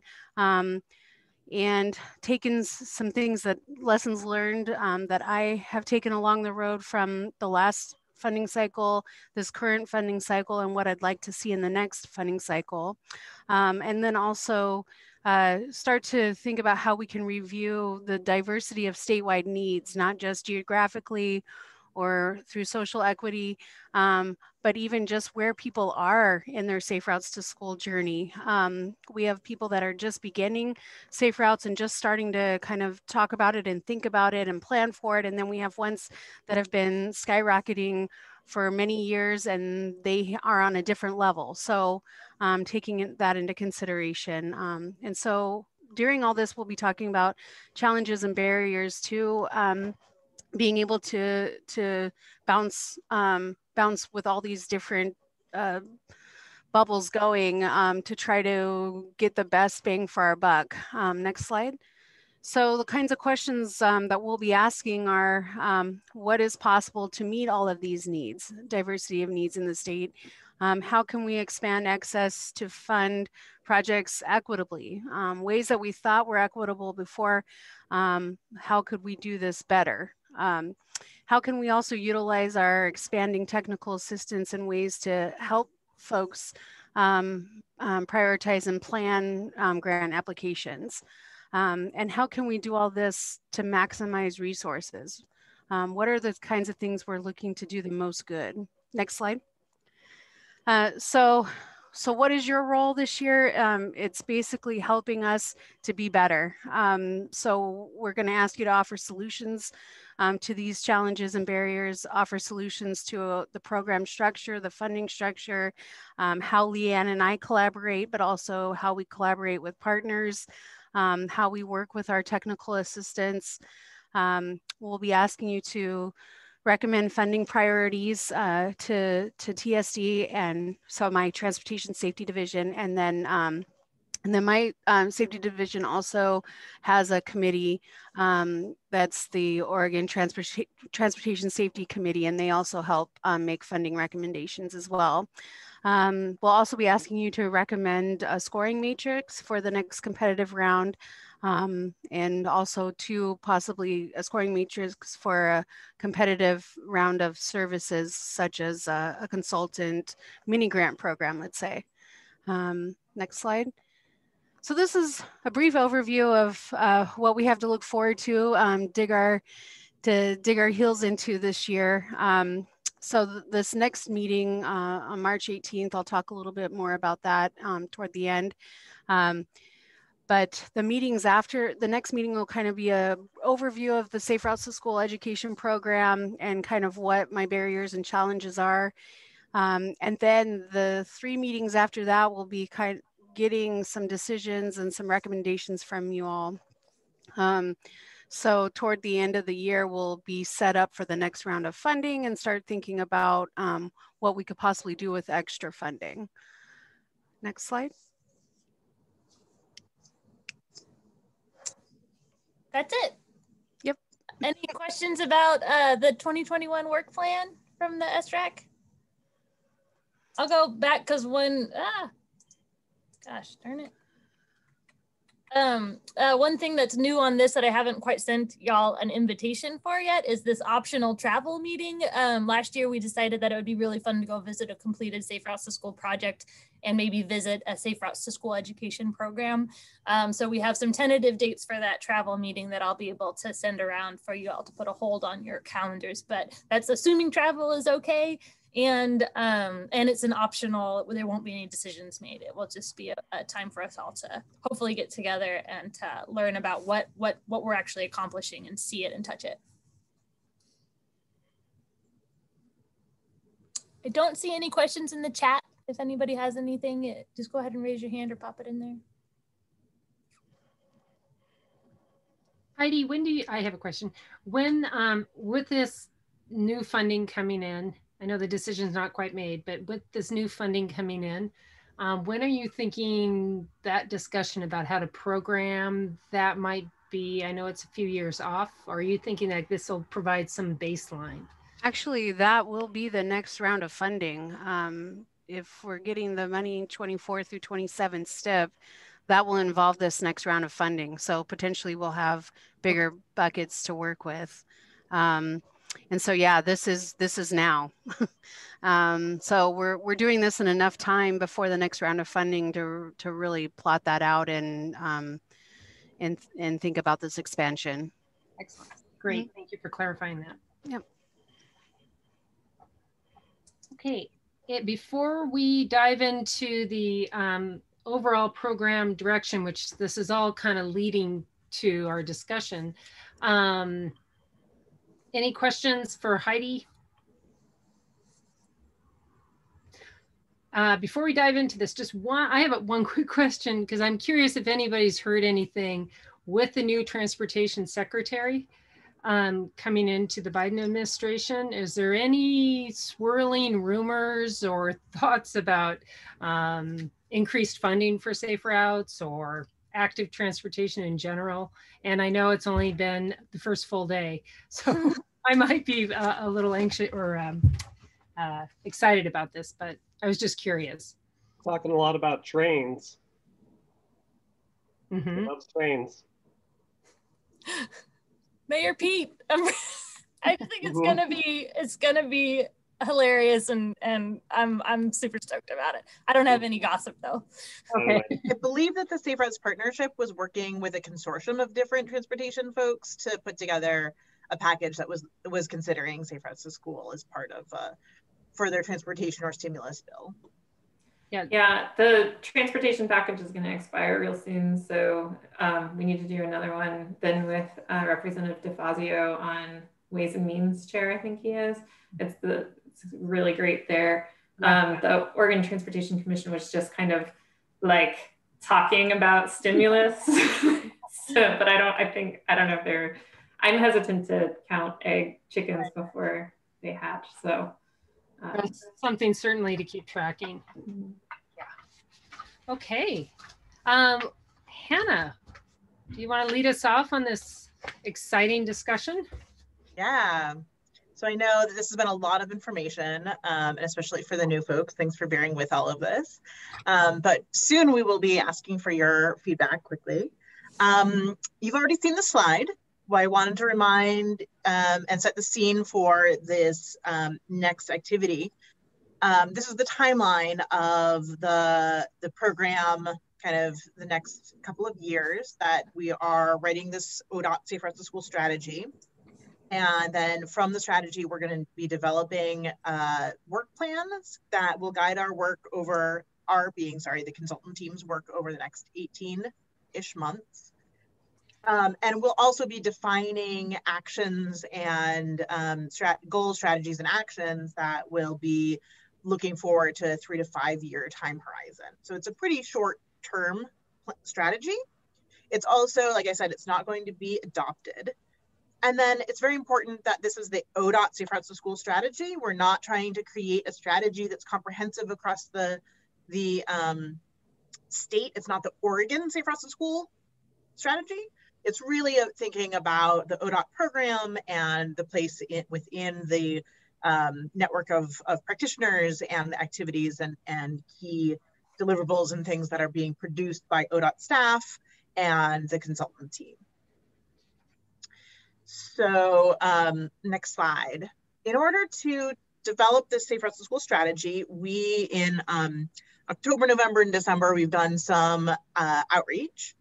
And there were three main categories of outreach that we did. You can see on the slide, a questionnaire, focus groups, and one-on-one -on -one interviews.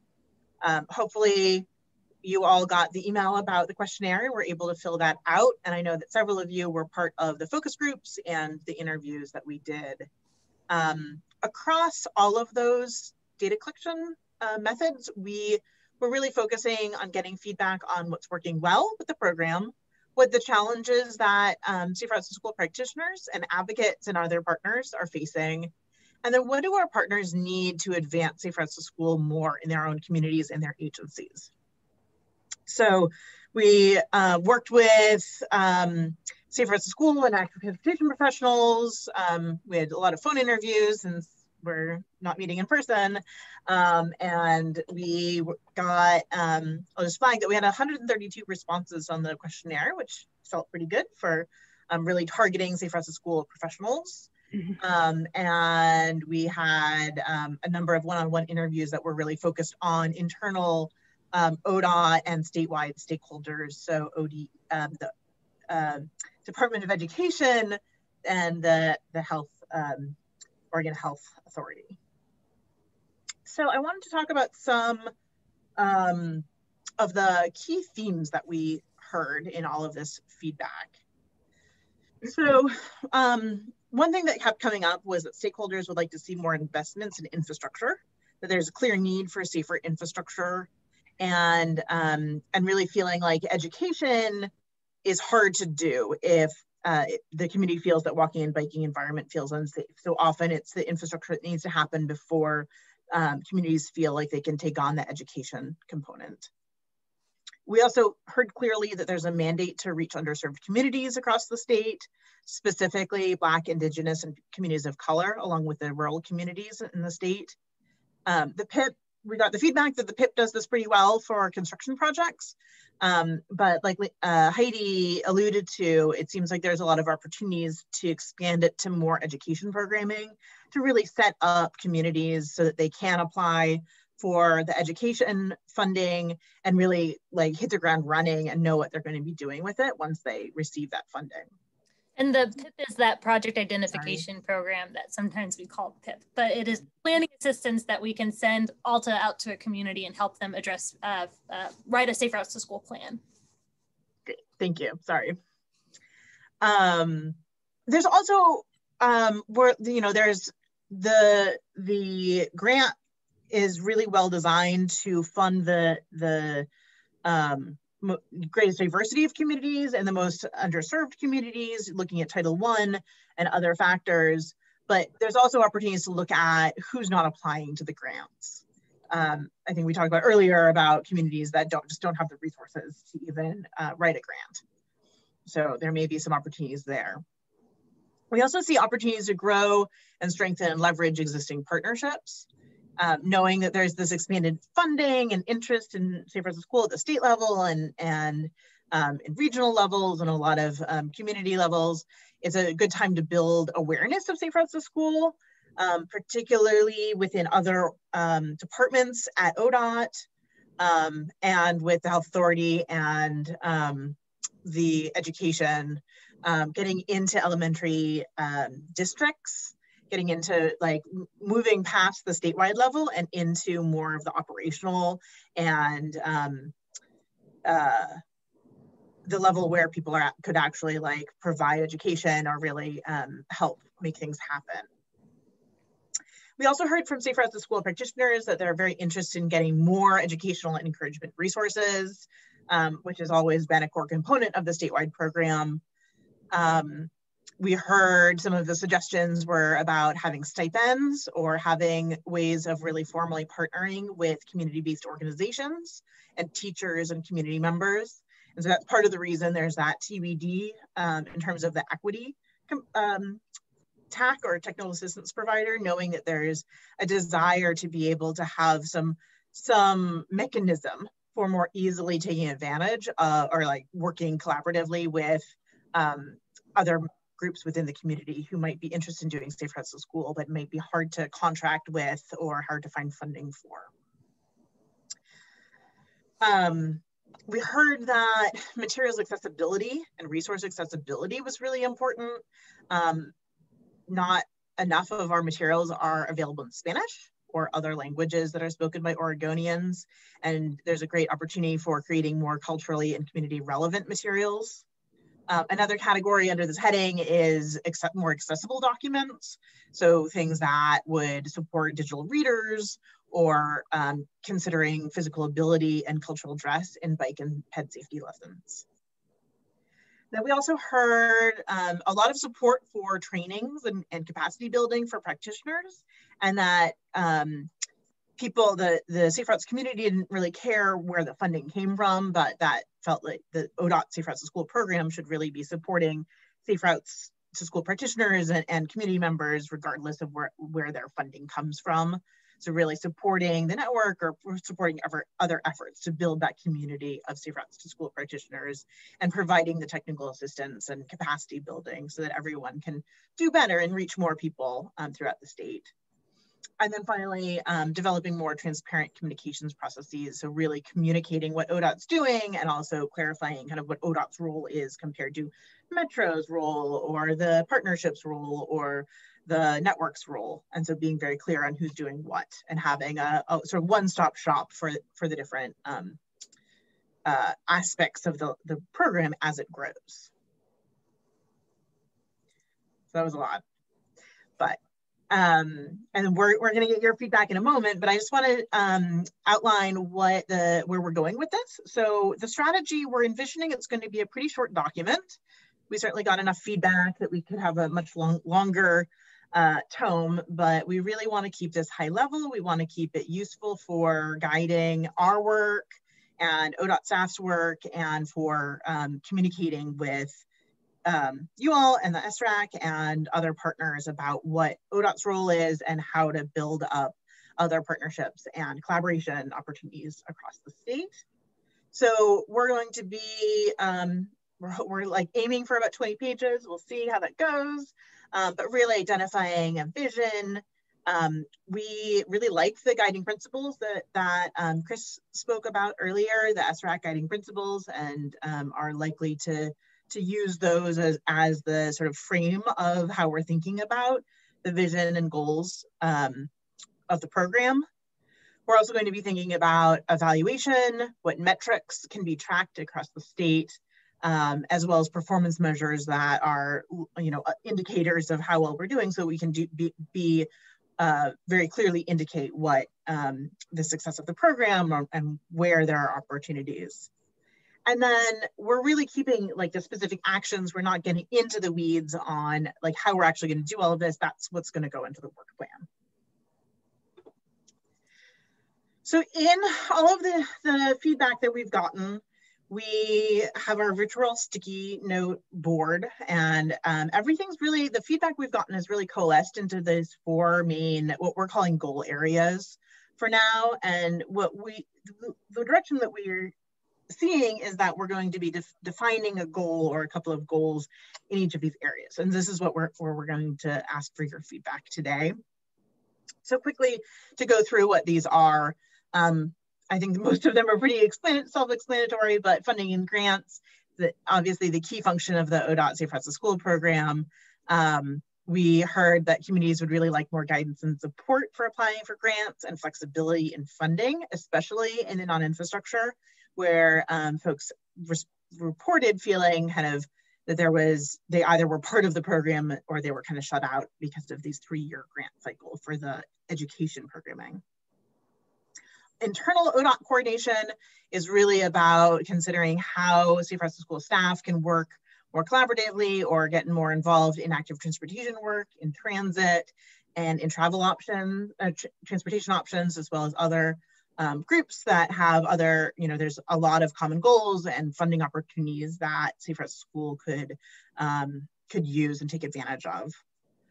Um, sorry for the acronym SOUP for external coordination, but um, we have the Oregon Department of Education, the Oregon Health Authority, the Department of Land, Land Conservation. I should know this. DLCD. I don't know it. Development Land conservation something. And development. And development. That's it. Nailed it. and then the um, Oregon Safe Routes to School Network, which is really, like I said, the community of safe routes to school practitioners, practitioners across the state. And we've been working with Noel, um, who's the co-chair and the network to support coordination and training in that um, on that. Um, and actually the SRAC would go under the um, external coordination partnerships. And then finally, the training communications and outreach materials, and that that's sort of a working title, but it's really about building capacity of practitioners across the state, providing materials.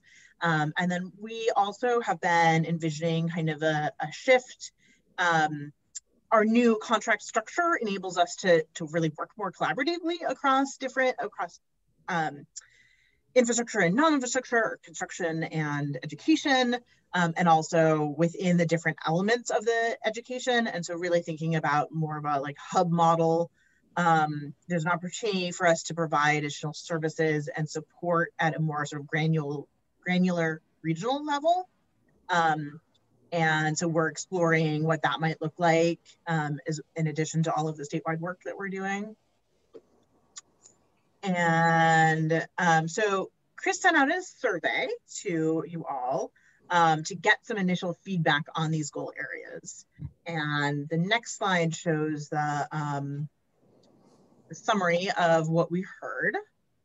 Um, and just quickly, um, I think this is all pretty similar to what I've talked about before, um, but on funding and grants, definitely having more funding for education and flexible flexibility in the funding came up again.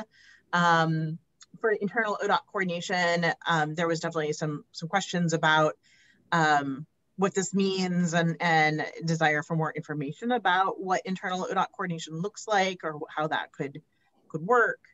Um, for external coordination partnerships, um, really leveraging interagency fund, uh, funding came up um, and just like growing the awareness and knowledge of Safe Routes to School in the community.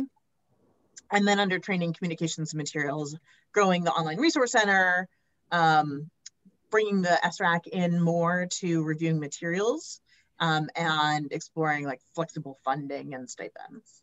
So that's the quick uh, download on what we heard. And um, I wanted to, so we're going to move into the um, breakout sessions and we have some questions for you. And as we're thinking about what the um, next steps are. We're breaking it into the next two years and the next, and then three to five years. So I just wanted to clarify like what the obligations of the program over the next two years. So through the end of 2022, or sorry, through 2023. Um, so all of the technical assistance that we've been talking about, that's all ongoing.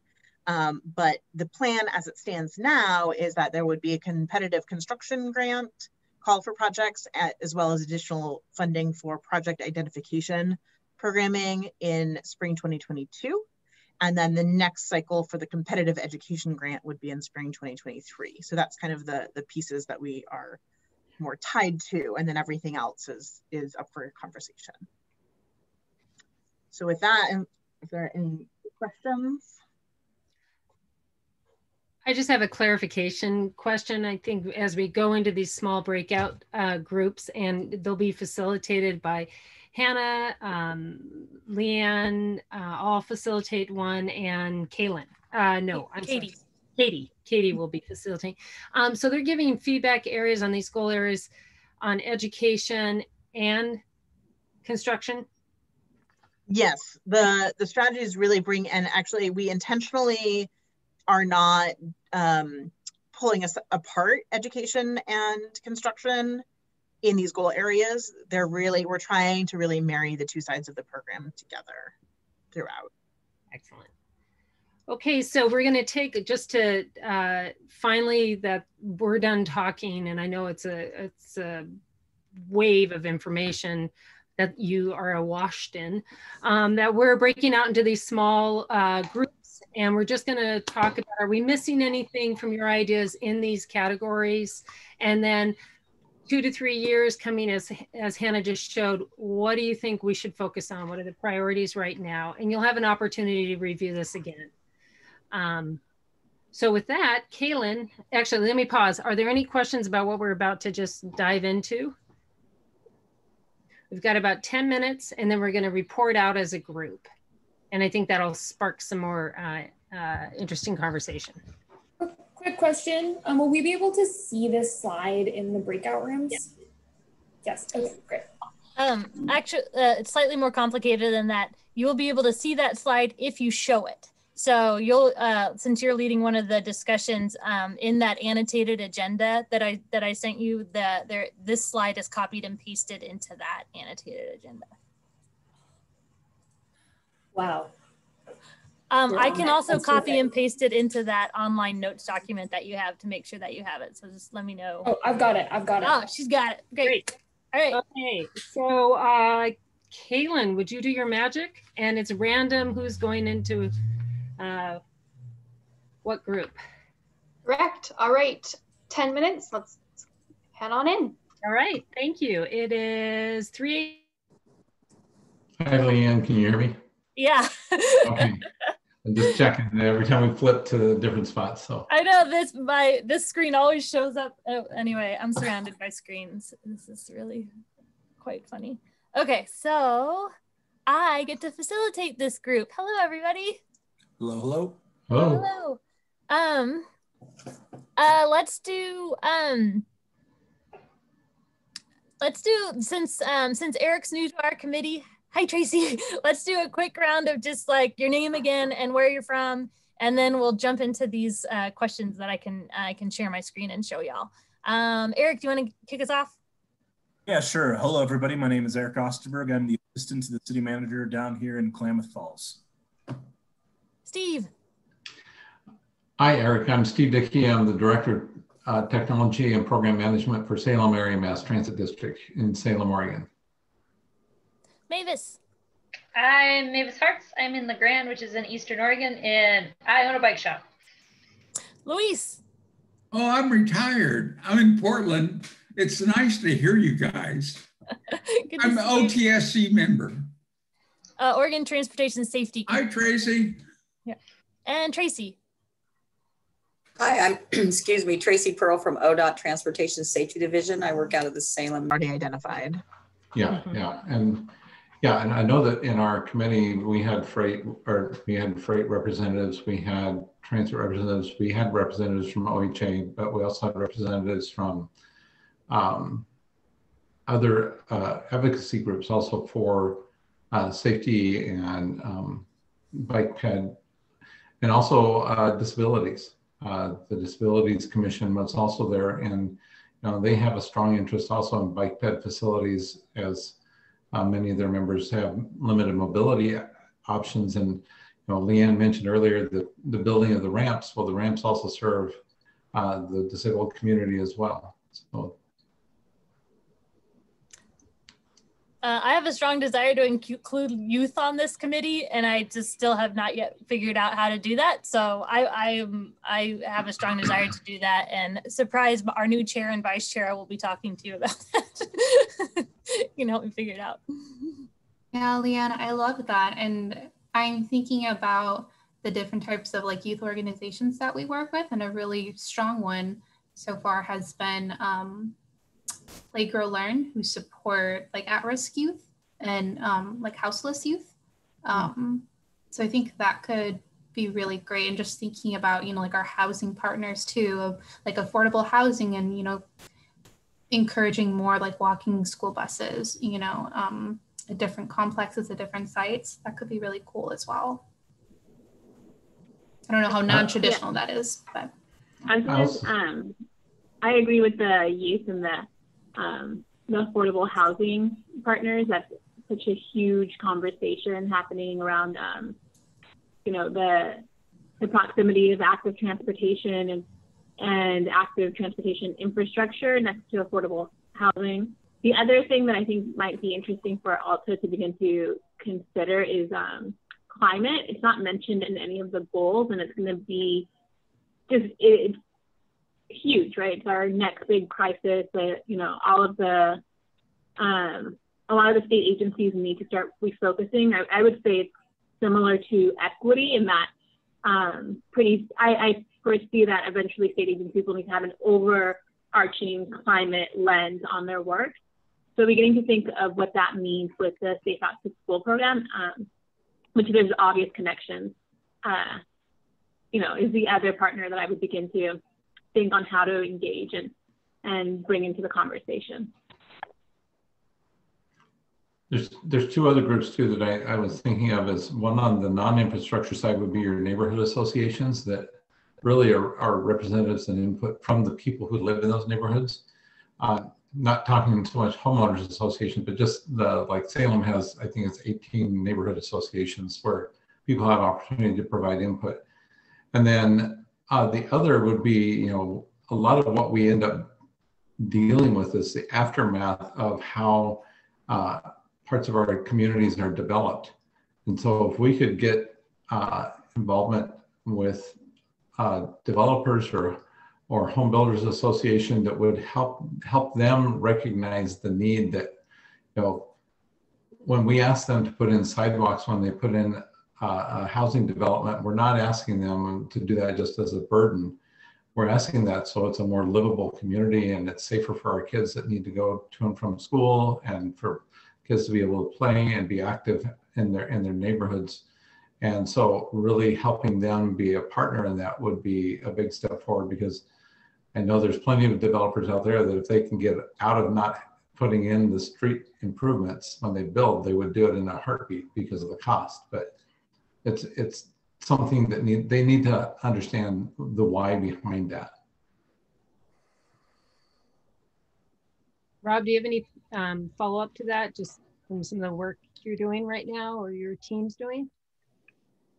You're asking you're asking me. Um, mm -hmm. Well, I just think that, you know, it's interesting. Actually, we try to require developers to build um, access ways at the end of, cut, of cul-de-sacs. And our person who manages that program was saying that he sometimes has hearings officials deny them. And it would be nice if the state just said, you have to do this, you know, if you have a cul-de-sac. And so, you know, I think there's a role here for DLCD um, but you know, he was asking me for data so he could prove that these things are needed. And I'm like, this is just a network. I mean, I was able to get him some data, but mm-hmm. um, so I don't know if anyone from my group had mentioned just my comment that having just having bicycle and pedestrian safety education everywhere, but I just think that's another piece of this that um, just is a good thing to have, whether there's a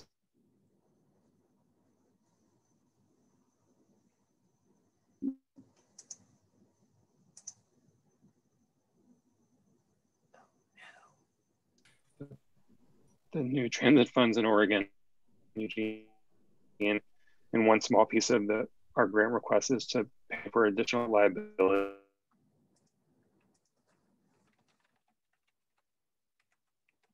Funding that we think of as transit. I mean, I think of bike shares as a form of transit, but and I appreciate that ODOT seems open to that. So just thinking about bike share, or even I don't know, I have mixed feelings about this, but I don't know if e-scooters are are a good thing we want to encourage young people to use or not. But I mean, it's certainly more sustainable than driving. So that's just another thing that maybe is non-traditional that we want to think about. I'm sure high school kids would love to use them. That, and you know, people are starting to buy their own, right? So that's something we're just going to probably start seeing more of.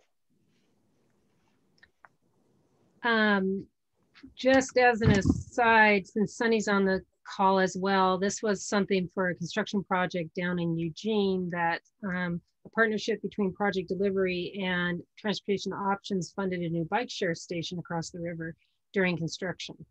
And um, it was hugely helpful to help build that baseline infrastructure. Uh, it's not necessarily near a school, but it is something to consider in the future if, if those layers all align. Um, that was funded through the Transportation Options Program. So you have a lot, and also there's a lot of new funding pockets coming up now.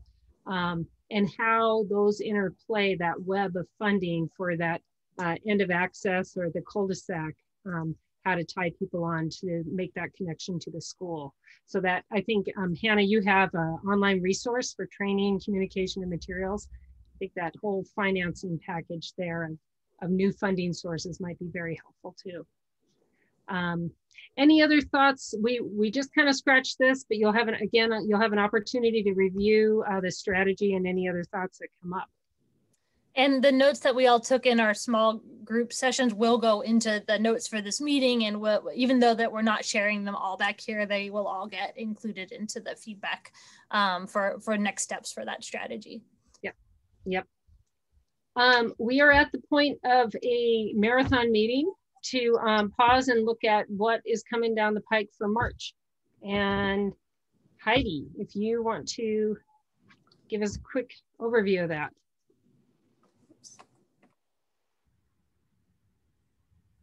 Yeah, um, just in summary of a, a, little bit of what I already discussed, um, the next meeting is really starting into this big deep dive into the education program. Um, and so in March, uh, I'll be presenting to you the current program structure and what the uh, education program site is all about. Um, a lot of it will be review for you, but oh, there's been some new folks come in. Um, so I think it'd be a good place to just kind of present um, the the past, present, and um, possibility of future for for the education program, um, and, and, kind of discuss with you some of the challenges and barriers um, that I've uh, lessons learned and things that I've come across and.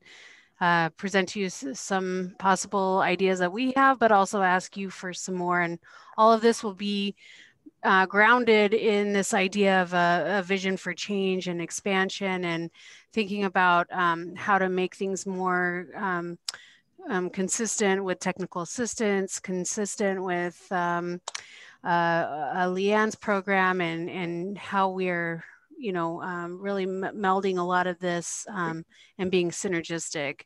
So, so this will be more of an informational meeting, but also toward the end, a little bit of discussion and brainstorming.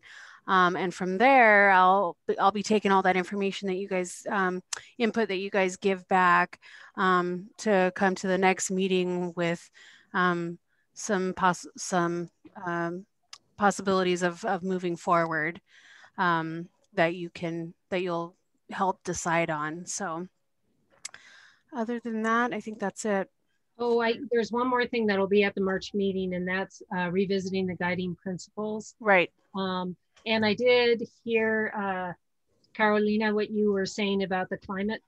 Uh, that that might be an overarching potential guiding principle, or that is woven into the guiding principles. So um, that. But, can I also mention one more piece? Uh, Rob had a comment a while back that just said, um, when we were talking about the statewide transportation improvement oh. program and said, given the low amount of non-highway in the current STIP, statewide transportation improvement program, hopefully the Oregon Transportation Commission can put any stimulus funds partially to mm-hmm. transportation.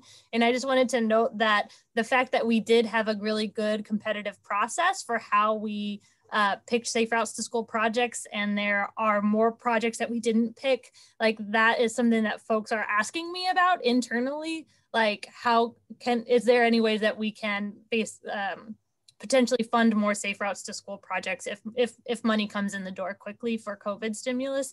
And i don't have any answers on that yet but what i will tell you is that when when when i do and i'm providing information internally for that that it'll come back to you to help um, um, um, to help uh, recommend those projects if we do end up getting to fund more safe routes projects that will come back here and would potentially be in March if that becomes an opportunity. So I wanted to say that um, as well. Great, great. Um, so two final things. What we do at every SRAC meeting is just a quick debrief on um, how the meeting went. Um, I invite you to do that verbally or you can do it in the chat room. Um, so um, if you just want to raise your hands, if you want to do it verbally, or you can just do it in the chat. This is how we improve your meetings and make the best use of your time um, because it is your advisory committee. So um, if anyone wants to speak, just give us an indication, or again, you can just put it in the chat.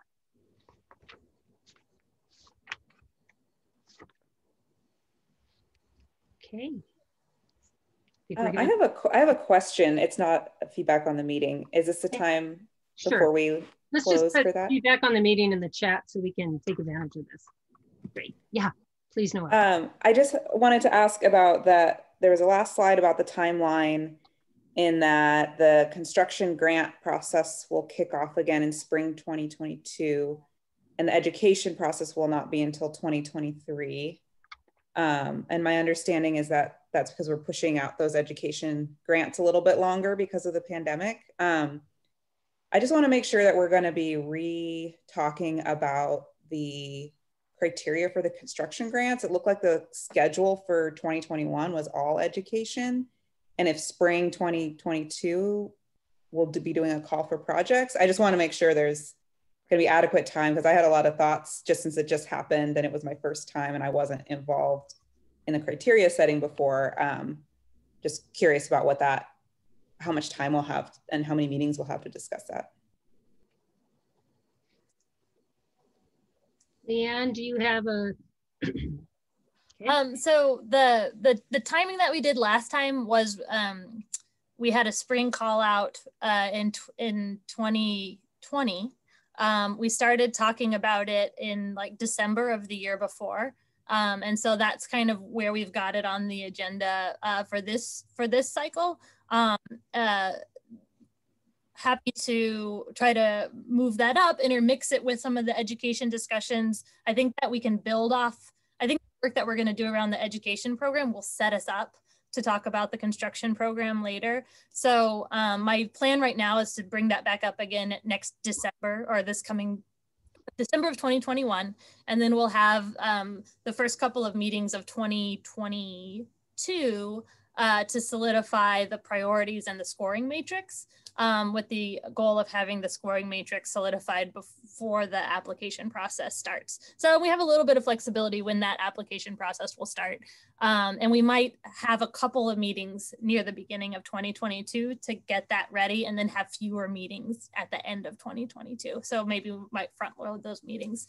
Um, Heidi and I had also talked about how, how this program is really great and flexible and it feels like things change all the time. So our schedule for 2022 is our best guess right now. But what we love about you all is how flexible everyone is to, to, to flow with what needs to happen next. So um, if that does not feel like enough time, if starting to talk about it in December, uh, it's starting to, that, that feels overwhelming, just uh, let me know. We're very open for feedback and can figure out how to make that feel better and talk about it earlier on. Thank you. Appreciate that. Any other questions or comments before we wrap up? We have a couple of things in the chat of uh, liking the breakout groups. Groups could be longer. It was really nice to get a little bit more um, more in depth in those breakout rooms. A lot of agreement about that. Um, but basically, we like breakout rooms and would like them uh, longer. And and one more, um, please, thoughts about this last competitive round. If you even even like teasers to send to uh, Leanne so we can make sure that we don't lose anything because a year can go by, new funding can come in, the whirlwind happens, someone presses puree and we forget. So um, please shoot those to Leanne. Um, and Rob and Carolina, do you want to say anything in ending the meeting as a uh, as the new chair and vice chair? Um, well, I just want to say thank you for um, you know everyone's commitment to this, and I think even though we're all on Zoom, I think you know um, people are really engaged. I think the breakout rooms are really a great way to make sure that more people can actually speak and and you know get to know each other. And so I'd love to see more of that. And I just appreciate all the ODOT staff dedication to moving these programs forward. And uh, you know, welcome to the new um, the two new members of our committee. And I look forward to getting to know them. Great. Carolina, you have anything to add? Okay. Okay. I'll turn it back to you, Ms. Leanne. Um, I think that is everything that we've got. Um, if uh, folks want to take off and get a break before your next four o'clock meeting, please feel free to do so.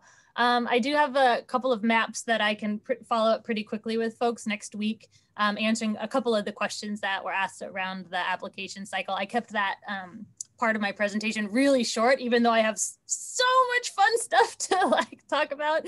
Um, I'm really excited about um, those 43 new projects that we're that that we got to fund because of all the hard work that y'all did. So um, look for that next week, and we're really excited for the for the March meeting.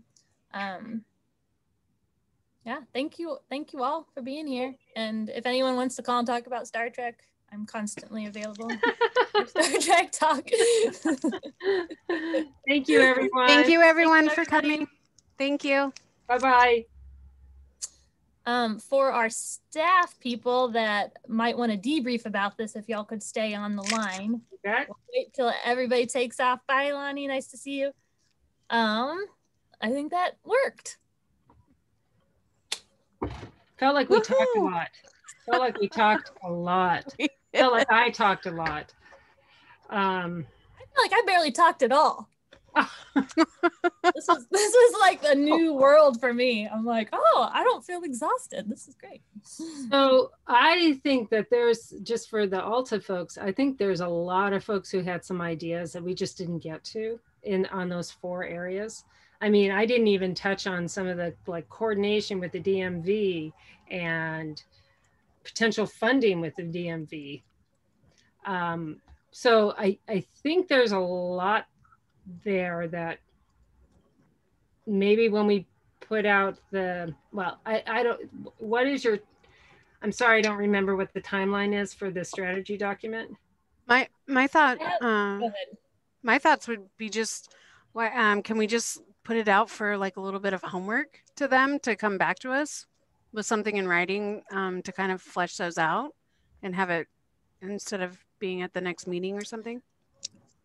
I also think some of these ideas are like too detailed for the strategy, but are great for this next year of discussion around, all right, what are we going to do next? So um, I think it was great to get their juices flowing. I was so stoked to see how how much they were talking about like partners and really the softer side of things.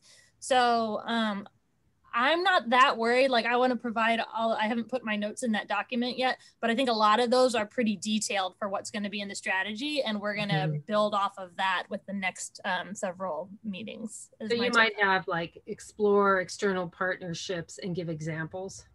Mm-hmm what I was interested in too is that like my group did get to prioritizing like which ones of these are important to you. And so I felt like that's probably going to end up being the more interesting conversation to have with the SRAC um, mm-hmm. because we're not going to be able to do it all and we're going to have to figure out how to prioritize it and that's going to be the hardest piece and they they so we didn't promise that they would have a role in that but that right. that my group got there and i thought that was really interesting mm-hmm show off. I feel like very I was so relaxed from not having to like talk the entire meeting this time. Tammy, you're always you've always got such good insights from from uh, all the SRAC work. You, I mean, you see it from a different perspective because we're in the thick of it and we've been working on it. What what were your thoughts? And do you mind if I eat while you talk? Oh, go for it. Yeah, go for it. meeting. Yeah. No, I was impressed. I mean, it was so much information, but it seemed like everybody was like with us throughout. Um, my group definitely started having some like they were like confused about the timeline and the things that are happening kind of simultaneously and like how that works. So we mostly talked about that. And I feel like other folks probably have similar questions about like how how can we have a strategy done before we've talked about how the education program changes and you know. But um but yeah i do feel like if we can provide some sort of you know we can we can do like a pdf review thing for the srac or have some way of having them. Like i think once we have the strategy drafted i think that getting their feedback on what is a priority for the for for the next 18 months will be helpful. yeah because like you say i think there's going to be more than there's actually money for yeah we'll have to prioritize And Tammy, what did what did you think about the meeting? I thought it was good and very informative since I've been gone for a year. It was nice to catch up.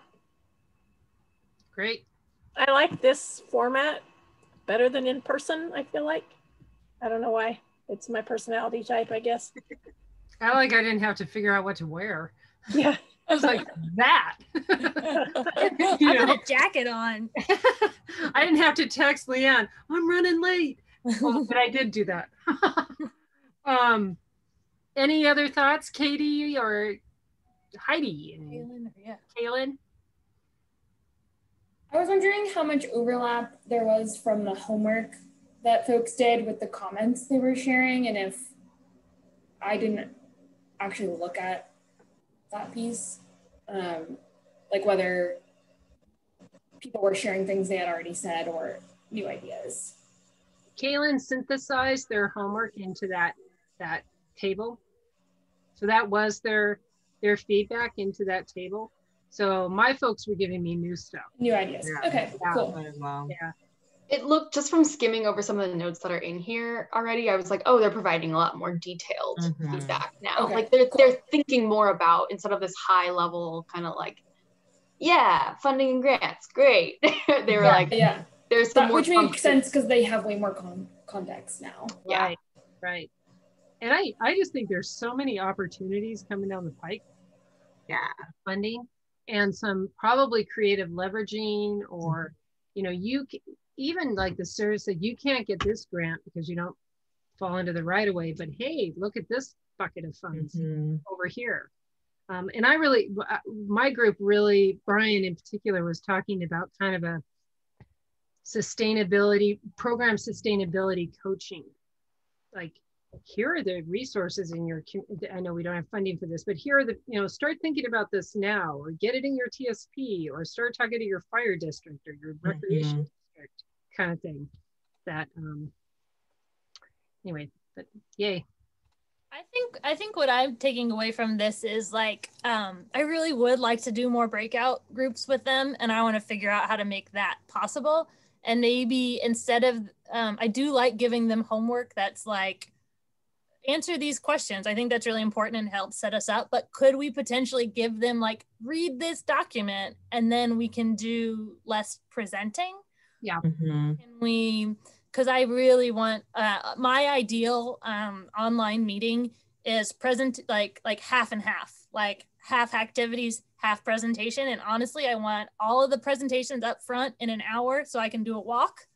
And i want to come back for the second half and have it be really interactive. Like that's how i want to do a three hour meeting. And I don't know how to get there because we have a lot of information, we have a lot of flow. Like, like it makes sense to do things in a certain order and maybe not Mhm. match presentations and activities. But like in this new online world, like that's how I want to do it. Yeah. And- If we have like a staff report, it would be appropriate to have more of the content in something that's been prepared. we could consider doing more of like a staff report.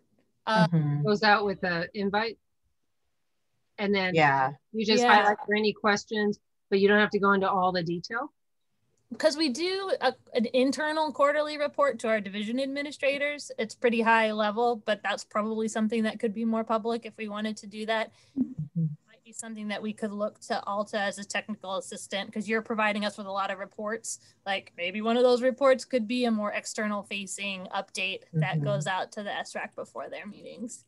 Um, Yeah, I mean, even for the next one, when we're talking about um, this, you know, the looking back on the education program, like uh, we're we're pulling together a lot of that content in terms of the numbers and the data associated with what we can what we can report on for previous um, TAP uh, activities, and that that's going to be like the, the pre- preface to our work plan, and that could be in a staff report really easily. So What's I- the timeline? Like how uh, how soon in advance would you need something like that prepared? Um, I feel like we're a little bit cart before the horse because um, I'm looking at Heidi because I'm I'm I'm wondering in your brain like what are the things that you want the SRAC to discuss? What are things that you just want them to know? And then we could potentially create some of those things. Um, basically, we have a we have a it's it's March 18th, so like we would ideally send them any materials that they need to read. They actually asked for more time. Um, like the last homework that we gave them, they said that it, the timing was too, too was too quick of a turnaround. Um, so I think that we should give them two weeks to read something and respond to it if we can. Ten days, two weeks. So that would put us sending something out early March. But uh, it comes back to kind of like Heidi and what do we want to get out of that ne next meeting and what do you present and discuss versus like update? What do they need to know? Yeah, to be honest with you, I, I think three quarters of the meeting should be discussion and um, coming to kind of a priority list because the way I'm looking at the schedule, um, you know, the the next meeting is basically me or us coming back and saying we took your feedback um, and now we've come up with uh, basically something that we'd like to go with. These are our uh, recommendations to go forward. We'd like to see if you you know agree with that um, and so i think a lot of the review like i wrote this down just while we were in uh, in the meeting thinking about next next one